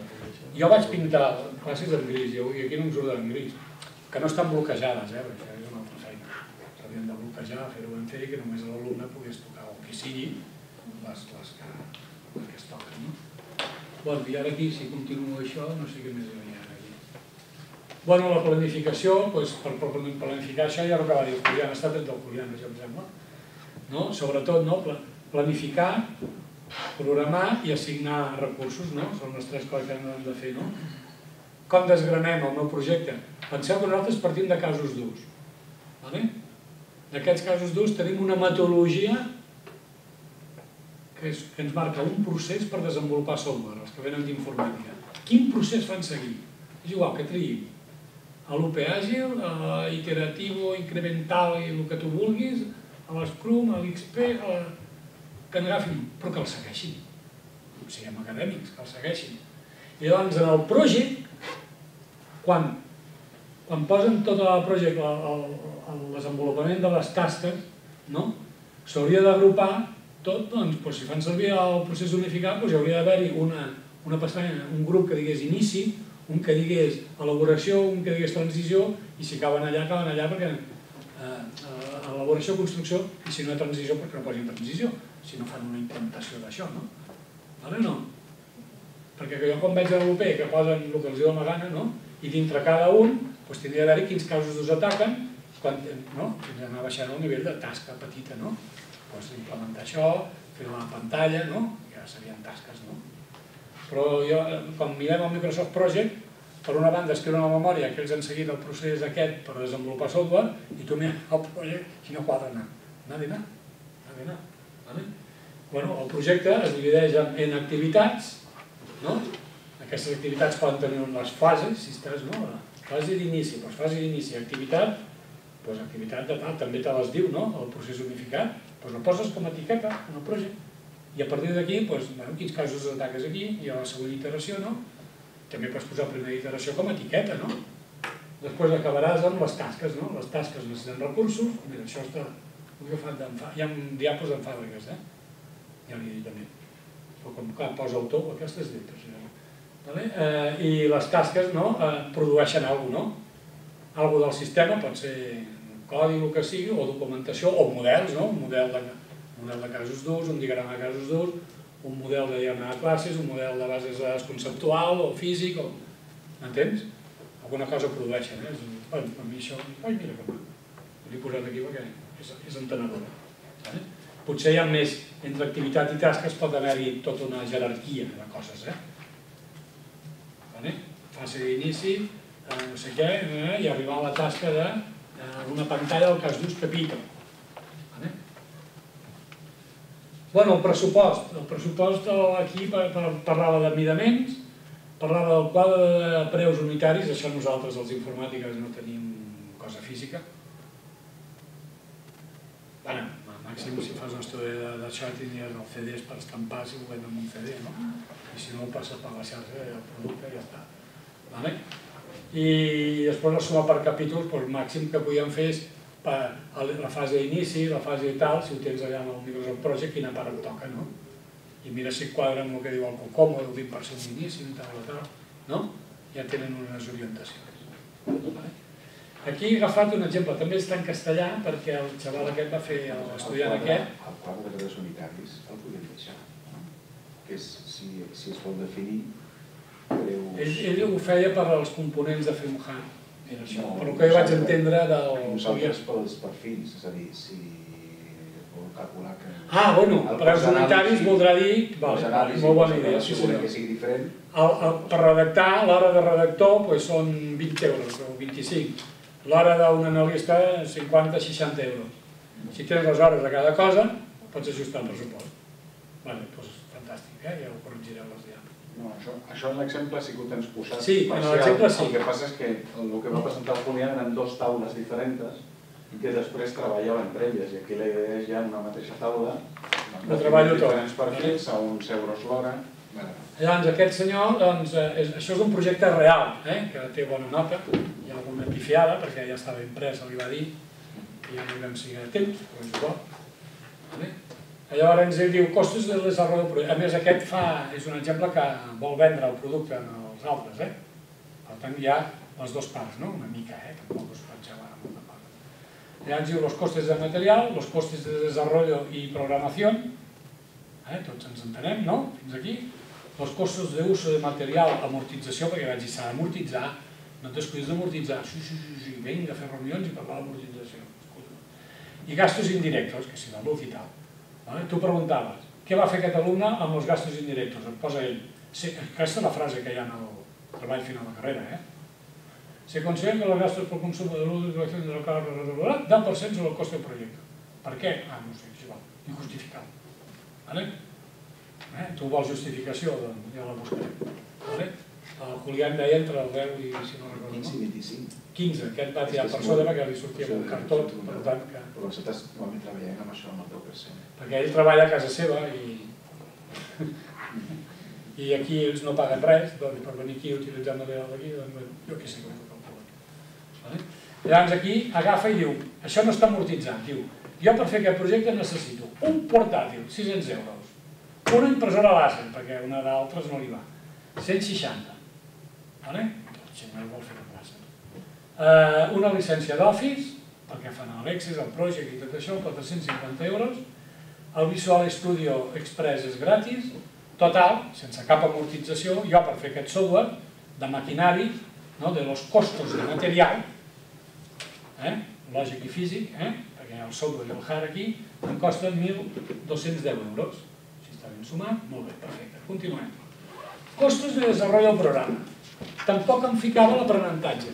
És un senyor que venia, no en tenia ni idea d'orientat d'objectes, no en tenia idea d'accés, no, eh, em sembla que era electrònic, idea vol dir poca cosa, vale?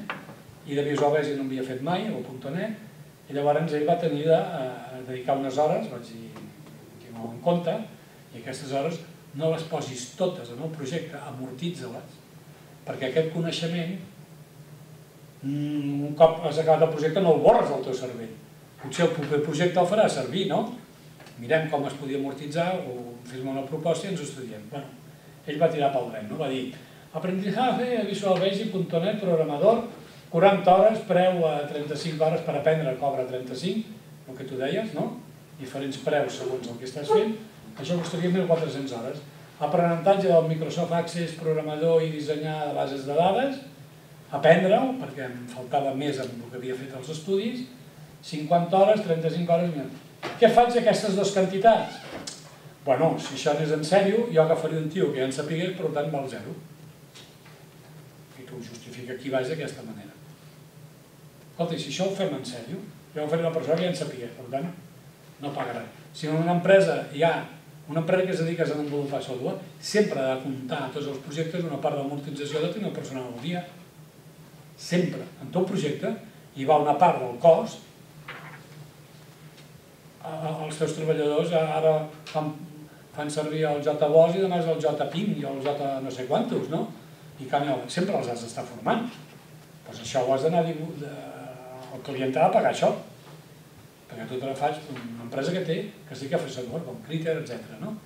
Doncs sempre han de posar-hi una part, a tots els projectes els hi carrega una part, i hem de frente. No pots dir que ja saben per ciència, com ha fet aquest senyor. Vale? Però bueno.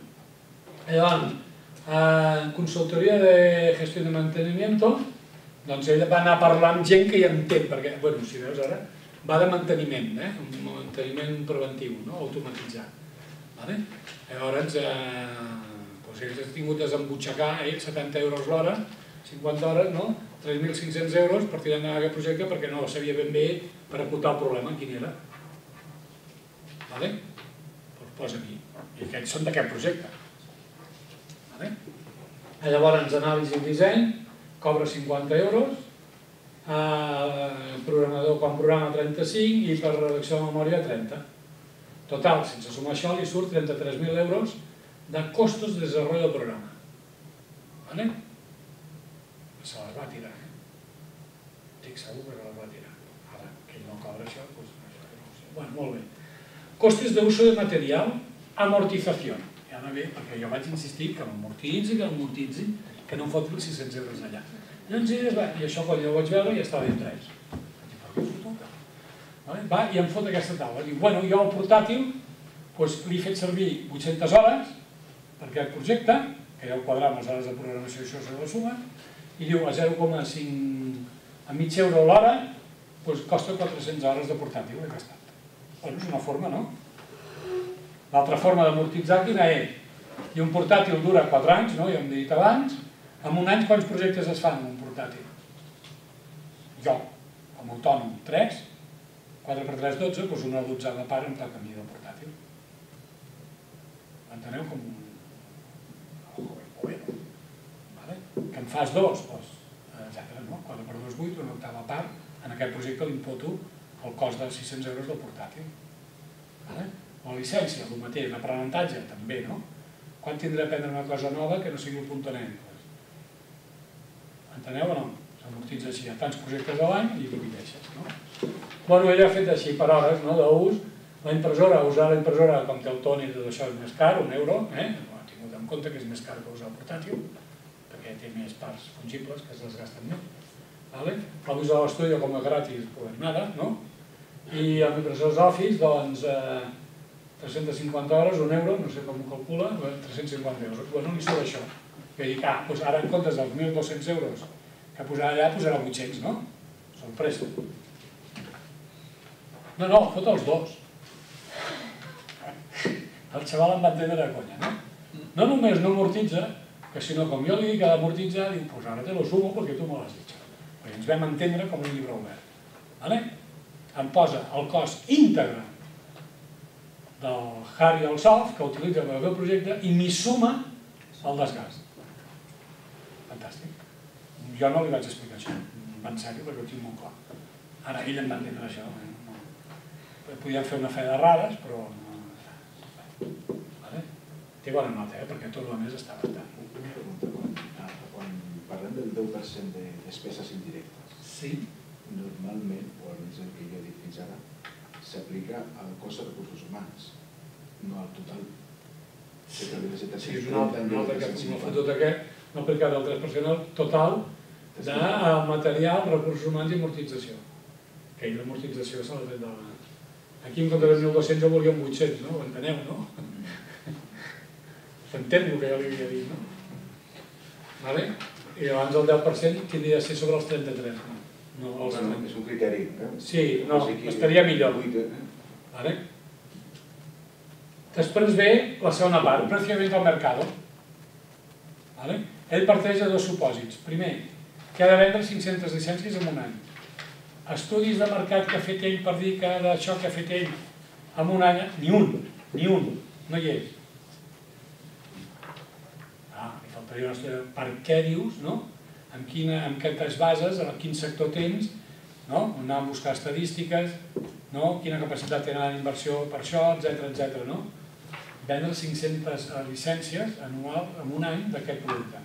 I el segon supòsit és que tot el que ell ha invertit per desenvolupar això ho va amortitzar primer any. No amb dos, no, ell té pressa i amb un. Vale?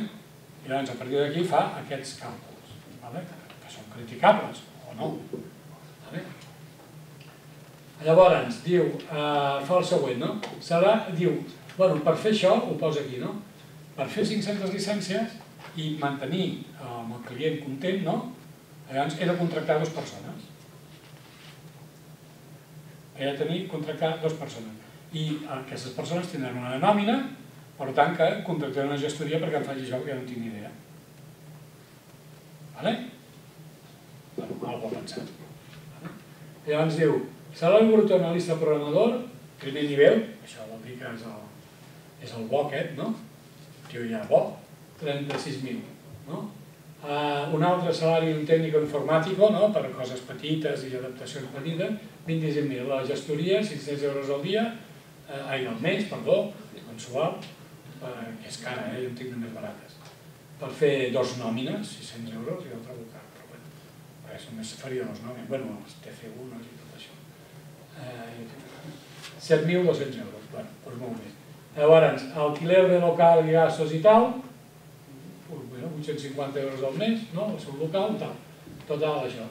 Coste final, còpia, licencia año, doncs això ho divideix per 500 còpies en un any, no? cada còpia eh, són 156 euros, amb 156,8 euros no?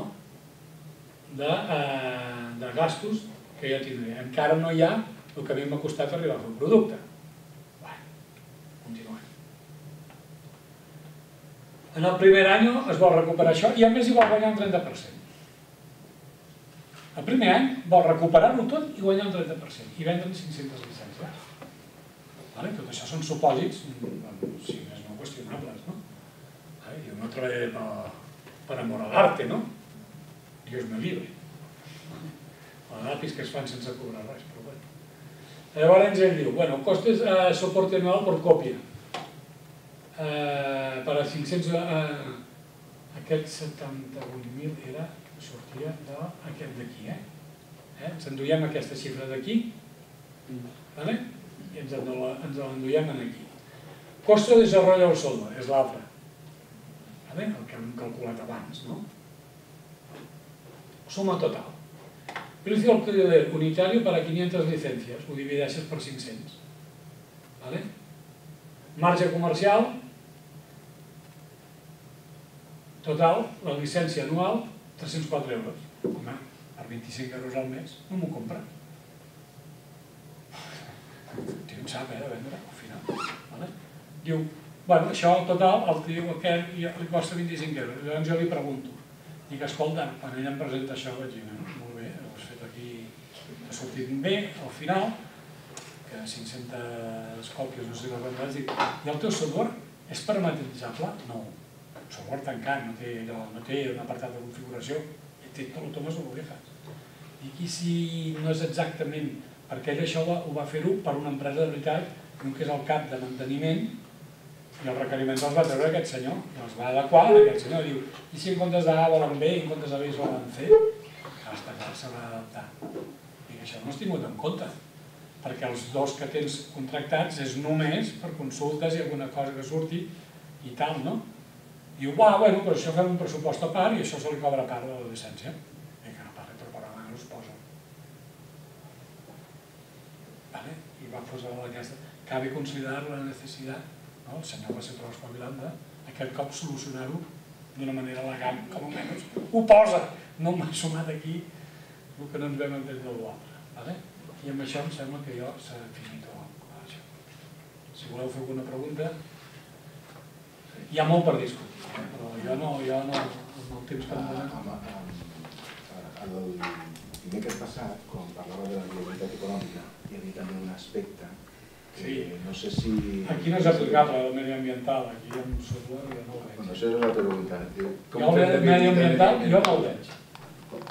Els bits contaminen, poden aprendre com fem l'electricitat, però No és que hem de fer... Està clar, nosaltres el mediambiental l'únic que fem als ordenadors és gastar electricitat. Amb els projectes informàtics no fem viabilitat mediambiental. No crec que no. Jo voto perquè no. Primer, no podem fer el mateix, eh, la mateixa mida del projecte perquè són 6 crèdits menys, que són 150 hores menys de projecte. Per tant, la mida del projecte ha de baixar en proporció d'ells, no?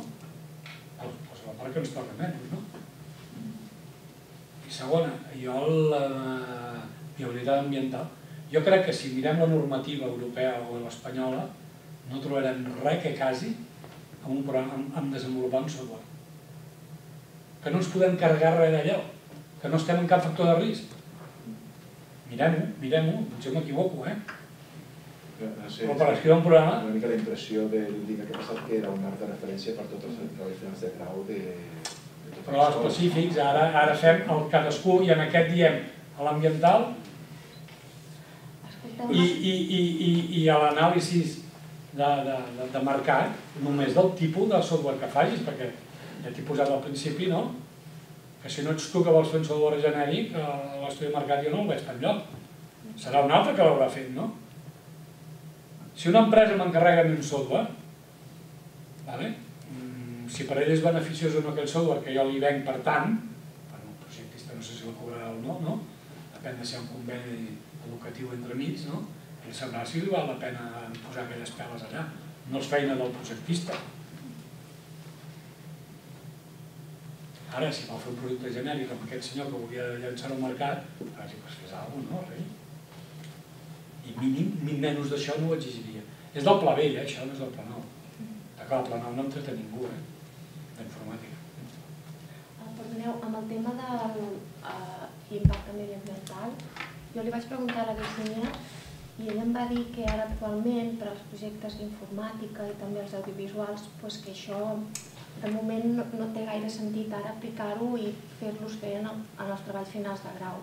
Possiblement d'aquí uns anys sí, perquè clar, quan tu fas uh, un projecte informàtic o audiovisual doncs utilitzes l'ordinador, gastes energia... Això, que depèn fer de l'origen. Si és atòmica, aspecte. bueno, doncs escolti, posi pedals a l'ordenador. Però no n'hi ha d'ordenadors amb pedals. Però bueno, que ara igual qui s'encarrega de fer aquests, no, aquests estudis, això Eh, Podria ser molt no ho ecològic. tenen en compte, però properament Has haurà una del tio que pedali. Home, potser no, no, seria, no seria una cosa obligatòria, però es pot pensar en coses com, per exemple, calcular la petjada en CO2, per exemple.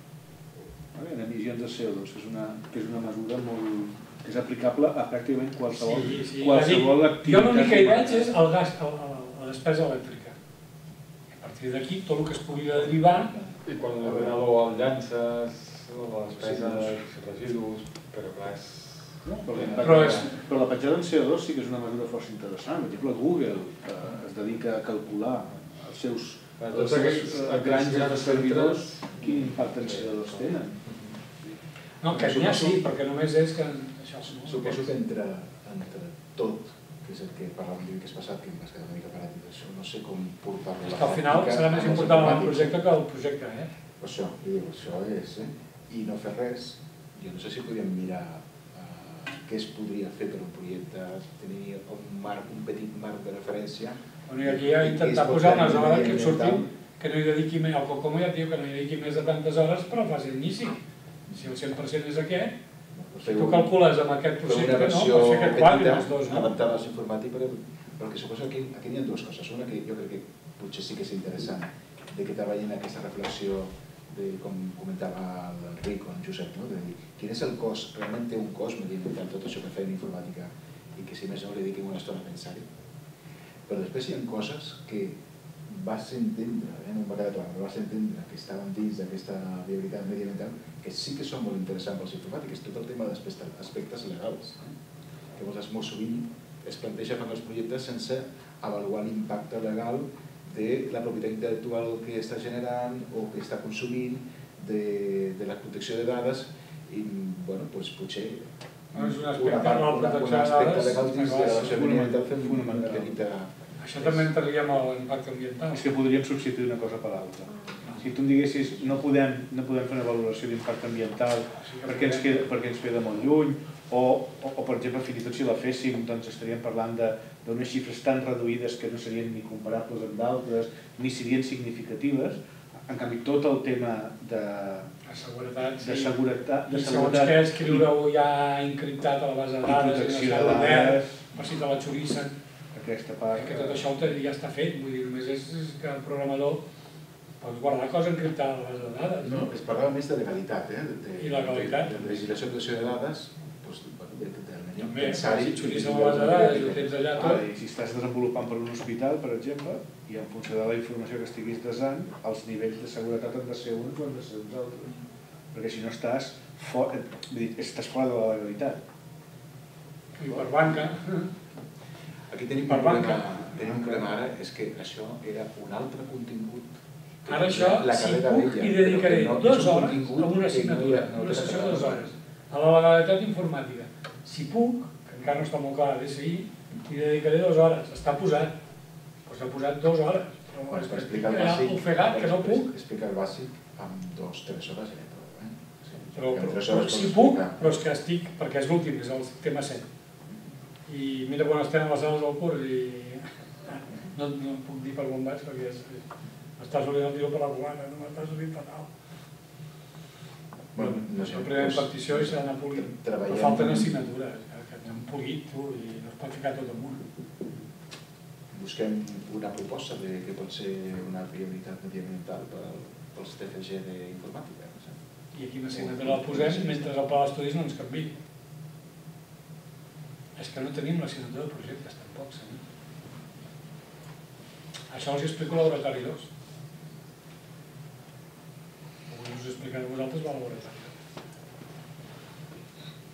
I la legislació va deixar. Entrem aquí? Després hi havia una altra cosa Ah, no, espera, espera, perdona, perdona. l'estudi una altra cosa que demanàvem és eh, el, el càlcul de la, la valoració de la inversió i el càlcul de la rendibilitat de la inversió. Això portat als TFG d'informàtica que hem de fer. I el punt d'equilibri, el punt mort, i el banc, i... Bueno, tot i això és si hi ha comercialització després del producte, si no, no ho veig. Però els hem de fer que pensin en la comercialització. Si poden fer un producte genèric, sí. Això que he posat jo aquí, no? si està en aquest supòsit d'aquí, jo un mínim, com aquest senyor, el vol estar dia. D'una altra forma, del que vam parlar dimecres, que podem usar-ho a la carta, que Això sí, jo bé i el que no, no? O que, com ho hem de fer. Jo si el xaval el que vol fer el seu projecte a final de carrera, triat per ell, proposat per un, professor, m'és igual, és intentar fer alguna cosa, encara que no arribi al final, no? i és que un prototip bastant ben fet no? però encara li faltin dos voltes, no? però que vol ser alguna que vol intentar recuperar la inversió per fer una còpia perquè creu que algú pot i podrà comprar, una mica d'estudi de mercat hauria de fer.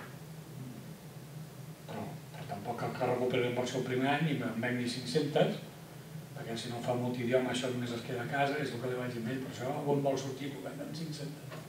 Diu, en quin idioma ho has fet? És multidioma, és configurable? Ah, no, ah, no. Eh, Que me cuentes? Jo diria que l'esperit de tot això, no? d'incorporar tots aquests temes, Eh, És que a- a l'alumne sàpiga que a la vida real ha d'haver un això és un projecte acadèmic. Ha d'haver un client. que És té- un projecte acadèmic i que simulem projecte real, però no és un projecte real. De, de fer un estudi de viabilitat, que tindria tenir un estudi de mercat, a posar 500 còpies, perquè me sale de hoy de aquí, i más, de, de, doncs potser que li digui bueno, quantes empreses del RAM hi ha en el sector perquè, perquè tu podies eh, comercialitzar això. Com a mínim, mira, un parell d'estadístiques. A mi això, Eduard, em sembla, em Mm. sembla l'exemple fins és maco, aquest, que, per passar-ho clar, sent estudiants de veritat, no? I- Sí, I, sí, sí, sí, sí. un company vostre ha fet això i algunes coses són qüestionables. Però, jo crec Però que bueno, però val més que molt- 500 que no, que no hi ha, res. hi ha qüestions que són, que són purament, que són purament anecdòtiques, perquè moltes d'aquestes decisions de uh, em, vendré 500 a l'any, tindré un marge del 30%, Uh, no sé, hi havia alguna- Recuperaré el primer any. Recuper... Tot, Tot, això, tot, el en el 100%. fons, és, són qüestions purament parametritzables. Vull dir que canvies aquests paràmetres... Per això dic, com no és real, com el projecte no és real, cola. L'únic que s'ha de dir-li és dir, bueno, però cuidao, que si això ho fessis de veritat, tindries de fer un estudi de mercat, mirar estadístiques, quantes empreses hi ha, quins softwares els implanta, com està avui el tema aquest de manteniment preventiu eh, per ordenador, bueno, té una sigla, no recordo, vale? això un d'aquests aquí no en sudiria, els mecànics i l'electrònic, aquests sí que ho saben, perquè és per fabricació això, no? doncs, bueno, doncs, eh, que fes una mica, que tindria d'haver fet un estudi de mercat, aquí acceptem els 500, a sub, com a supletori de l'estudi de mercat. A mi em paga, a mi em paga, que l'inversió la recupera el primer any, no, la pen, tio, i... Sí, bueno, tot això són paràmetres. Són paràmetres. QR i després... Però que ho tingui, clar, que ho tingui, que ho tingui, que ho posi, que es mulli. Jo recupero la inversió el primer any, vull un marge de 30. Faré 500 còpies. Que ho formalitzi. Ja és alt. Ja ho veu que això falta alguna més. Que m'amortitzi les coses bé, que que no m'assumir els dos. I després quan tinguem projectes que realment estiguin molt adreçats a, a que realment ho volen vendre, doncs tenim tot el servei aquest d'emprenedoria i tal. els hi faran un pla de, I aquí sí que un pla de viabilitat d'empresa i el faran allà, no? Ara, el que no podem fer és que eh, explicar el mateix a, a totes les signatures. Llavors, una assignatura els hi ha quedat molt clar com es calcula un ROI, un BAN, un no sé què. Totes les eines per fer això, les eines eh, economicistes per fer això, això ja hi ha d'assignatures per fer-ho. No s'han d'explicar-ho ni a DSI, ni a Laboratori 2, ni a res. Si un dia tinguéssim projectes d'informàtica, allà s'explicaria com s'estima un software i en lloc més, vull dir, no ens podem repetir. Vale? Si tenim assignatures de DSI i GSI, doncs algun lloc posarem la legislació i en lloc més. El que no pot ser és dir, doncs ara això t'ho explico jo perquè allà no sé què. Ah, això no, no, no, no. no. Això és el que hem de procurar amb la coordinació de l'estudi, que tot això quedi explicat tot a tot arreu. Que, en totes les assignatures quedi tot cobert, això sí. Ara l'ambiental, doncs potser l'ambiental tindria d'anar, si no ens hi cap allà un mes, no ho sé, no estic dient desbarat, a l'emprenedoria, jo què sé. Escolta, i tindreu de tenir en compte quan feu un estudi. Allà els hi fan fer estudis de, de habilitat d'una empresa, no? Quasi, quasi diria, diria ho la. Malfoc, la Malfoc en informàtica no deu haver cap obligació de fer res que tingui Bueno, en compte si volem introduir alguna cosa, D'aquí uns anys. D'aquí uns anys potser sí. D'aquí sí, uns anys però- sí, potser sí. no ho sé, eh? jo estic dient no? que hauríem de planificar-ho Doncs, eh, i sobretot Per, per resumir, sí, perquè jo vaig treure la conclusió dimecres passat de que ens estaven presentant un marc de referència molt detallat de com havien de ser les avantprojectes del treball de la Sí, te- tenim un índex. Sí, Tenim un índex. el tens- i el tens amb- aquí. Amb subíndex en subapartats i amb un nivell de detall molt important. Doncs si en informàtica això no ha de ser així, doncs el que hem de fer és l'índex aquest generar una quin és l'avantprojecte, i això no sé, amb el Josep, el coordinador projecte, dir què és el que sí, segur que s'ha de fer en un treball al final de grau de- d'informàtica. Llavors, de tot allò que Per vam punt dimecres, quan s'ha d'estudiar? no. I quin és l'índex, l'avantprojecte Quan que s'ha de d'estudiar el punt 5 que posa aquí? Eh, I plantejament de possibles alternatives de solució. A mi si ve aquesta empresa que vol que a veure si trobem algú per fer un projecte tal, el punt 5 no existeix. Això fa el client. Jo sóc un proveïdor de servei. Sí, sí. O, o l'ajudes a fer-lo i dir, escolta, saps que això ja en el mercat ja està fet? Bueno, depèn. Sigui, alternatives de solució... Pot... És que totes aquestes coses són Ja, és que interpretables. desenvolupar software avui dia només s'adapta Són interpretables, alternatives de solució pot, pot, pot voler dir alternatives de productes existents que incorporaràs en el teu. Són- Quin, quin no. motor de base de dades fer servir? Eh, clar. Ja. Quina plataforma? Vull dir, ho faré per Android, ho faré per tal, ho faré per tots dos. Però ell, ell no, no estava dient això, quan ens va parlant aquí, això, això és canviar-ho, eh, donar-li la volta. Ell estava dient, jo vull fer un projecte hard d'ells, no? d'electrònica, diu, què, què altres maneres, com puc fer altres maneres de... Jo vaig bueno, potser sí, és això. Però justament... Altres maneres, perquè una cosa seria la habilitat tècnica, que trio tècnicament per fer, jo entenc més així que és la habilitat tècnica, si trio fer-ho amb, amb, amb .NET, amb Java, amb MySQL, amb Oracle, cosa de llicència, això no no sé si va per habilitat tècnica, no ho sé. Com classificaries aquesta La solució és dir, escolta, un software que faci això. Bueno, escolta, un software que faci això, puc. Primer, encarregar-lo a aquell que m'ho fot molt barat i en sap molt. I doncs ja te'l passo tu ja. El firmo jo com a projecte final de carrera. Esto no lo queremos. Bueno, no?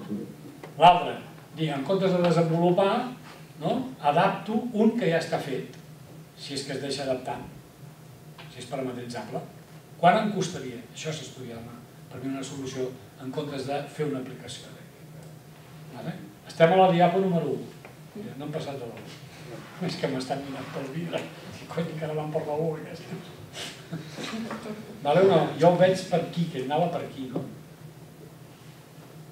Jo vaig entendre, per el que va explicar el Julián, que anava amb això, vull dir, fem aquest software, o mirem al mercat si hi ha alguna cosa feta, l'adaptem i ja tenim el, el que volíem, les funcionalitats, els requeriments que volíem, o encarreguem un tercer que ens ho foti, Bueno, més barat crec que aquí hem d'arribar a un consens no, d'uns mínims minuts que hem de fer i després també entenem no, de que segons la tipologia del projecte... Ah, doncs, jo tot això ho he enfocat a desenvolupament. Fixa't que els punts, els punts 5 i 6, Sí, els punts 5 i 6 són iteratius. bueno, està clar. S'ha de fer de tota solució per després triar la millor, vale? ja, ja t'ho va dir, no? Però llavors per cada una d'elles tindries de tenir pepis. Pressupost com a mínim de quan em costarà implementar aquella solució. Llavors esculls aquelles taules que t'ho preguntaven com funcionen, no? Ho tens tot i tries la millor solució, no? Amb una anàlisi cost-benefici, etc. no? Està clar, eh, jo dic, depèn de com, de, de la tipologia del trípode. I per mi, per mi és fonamental aquesta diapo d'aquí, això d'aquí. Vull dir, com, com hi he arribat a fer aquest projecte informàtic de desenvolupament? Això marcarà molt el guió. M'ha de marcar el guió, no pot ser el mateix per tots. És molt simplista, eh, això. Ja, ja, soc simple. Intento Però és, A casa t'hi van rebuscar. Ja està bé, perquè el, Ja en tenim prou, el, en el, tenim marge, el marge temporal que té d'estudi. Perquè després és software de temps real, software de... Aquí ja, ja entraríem que és un software de, encastat, un software que, bueno, clar, té unes repercussions diferents, no? Perquè aquell, bueno, si al metro encara pots actualitzar alguna cosa, Bueno, no sé, com una reflexió final. Jo dimecres passat va, va sortir en principi Ah, eh, no molt sorprès de la qualitat de les coses que s'han fet en el projecte, les coses que podia fer, però bueno, una mica espantat de com aplicar-lo amb els projectes que teníem al dia a dia, però no sabia per on començar eh, en algunes coses. Però també em sap molt greu la, la, la conclusió d'avui. És a dir, mm, jo crec que el treball de marc de referència per un projecte que es va presentar el dimecres és molt interessant. Jo crec que eh, el- aigualir-lo massa tampoc crec que No, sigui jo no estic dient aigualir-lo, jo dic que I- potser tindrem no hauríem de, de, índexs. de fer un treball de, de veure tres índexs. tot allò, tot allò que es van proposar de fer, com seria adaptable, intentar veure com seria adaptable a projectes d'informàtica i intentar-lo fer tot el possible. Eh? Si veiem que realment hi ha una cosa que és que no guarda de cap manera, bueno, doncs prendre una decisió i arribar a un consens que al final depèn de que li toqui de ponent a un estudiant al projecte doncs un li faci fer fins al banc a l'IRRI i tot i l'altre no, li faci fer res. No? I el És eh, quin és el marc de referència de l'avantprojecte per informàtica? Llavors intentar recuperar el màxim possible de coses i dir, escolta, doncs com, quina lectura podem fer-li a la, a la valoració mediambiental genèrica que hem fet per tota l'escola als projectes d'informàtica, què podem fer com a informàtica? Pues intentem pensar ara què, no descartar-lo tot d'entrada. No? Sí, les estudios d'alternatives, bueno, això, eh, l'anàlisi d'inversió inicial, això en, informàtica com, quina lectura le podíem fer, com podíem fer. I si al final vingués impossible descartar-ho, però després haver-li reflexionat, és a dir, El que, eh, agafar-ho tot que, massa a la carta... el que jo no vull és que l'avantprojecte mengi més d'una part del temps total del projecte. D'acord, això ja totalment jo tinc Que- els és una, una de les preocupacions de dimecres passat, és que diu, el volum de feina que hi ha és que quasi quasi mig projecte. No sé. Ah, ja quan el Julián aquell dia va dir que, eh, que amb el temps que tenen per fer el projecte, que són 600 hores, és impossible fer el projecte, doncs no, no, no, no anem bé. El projecte amb l'avantprojecte d'ells són 600 hores i s'haurien d'adaptar 600 hores. No, no pot ser que el ponent ja et digui doncs 60 no n'hi ha ni per pipes. I amb això discrepo, ja ho sap. Si la normativa si ho tenim a nosaltres a 450 o a 600, hauríem de fer eh, projectes amb l'avantprojecte, tot el bo que vulguis, però de la mida aquesta, i dona per el que dona, no dona per més. I hi ha molts alumnes que es passen. Jo estic segur que aquest alumne s'ha passat dels crèdits que tenim, a més és del plantic aquest. Aquest alumne, aquest alumne d'aquest projecte doncs, eh, es va passar hores, segur, independentment de la qualitat del projecte. Eh? I dels bucs que pugui tenir, això ja no m'hi fico. Però es va passar. Al final va aconseguir, Déu-n'hi-do el que va aconseguir. Va fotre un lío allà, va muntar la, la Sant Quintín, no? que tenia volum. No l'ha escrit avui de, de dificultat, de casos durs, de taules, de, de tot, tot, tot, va muntar una parafernàlia de l'hòstia.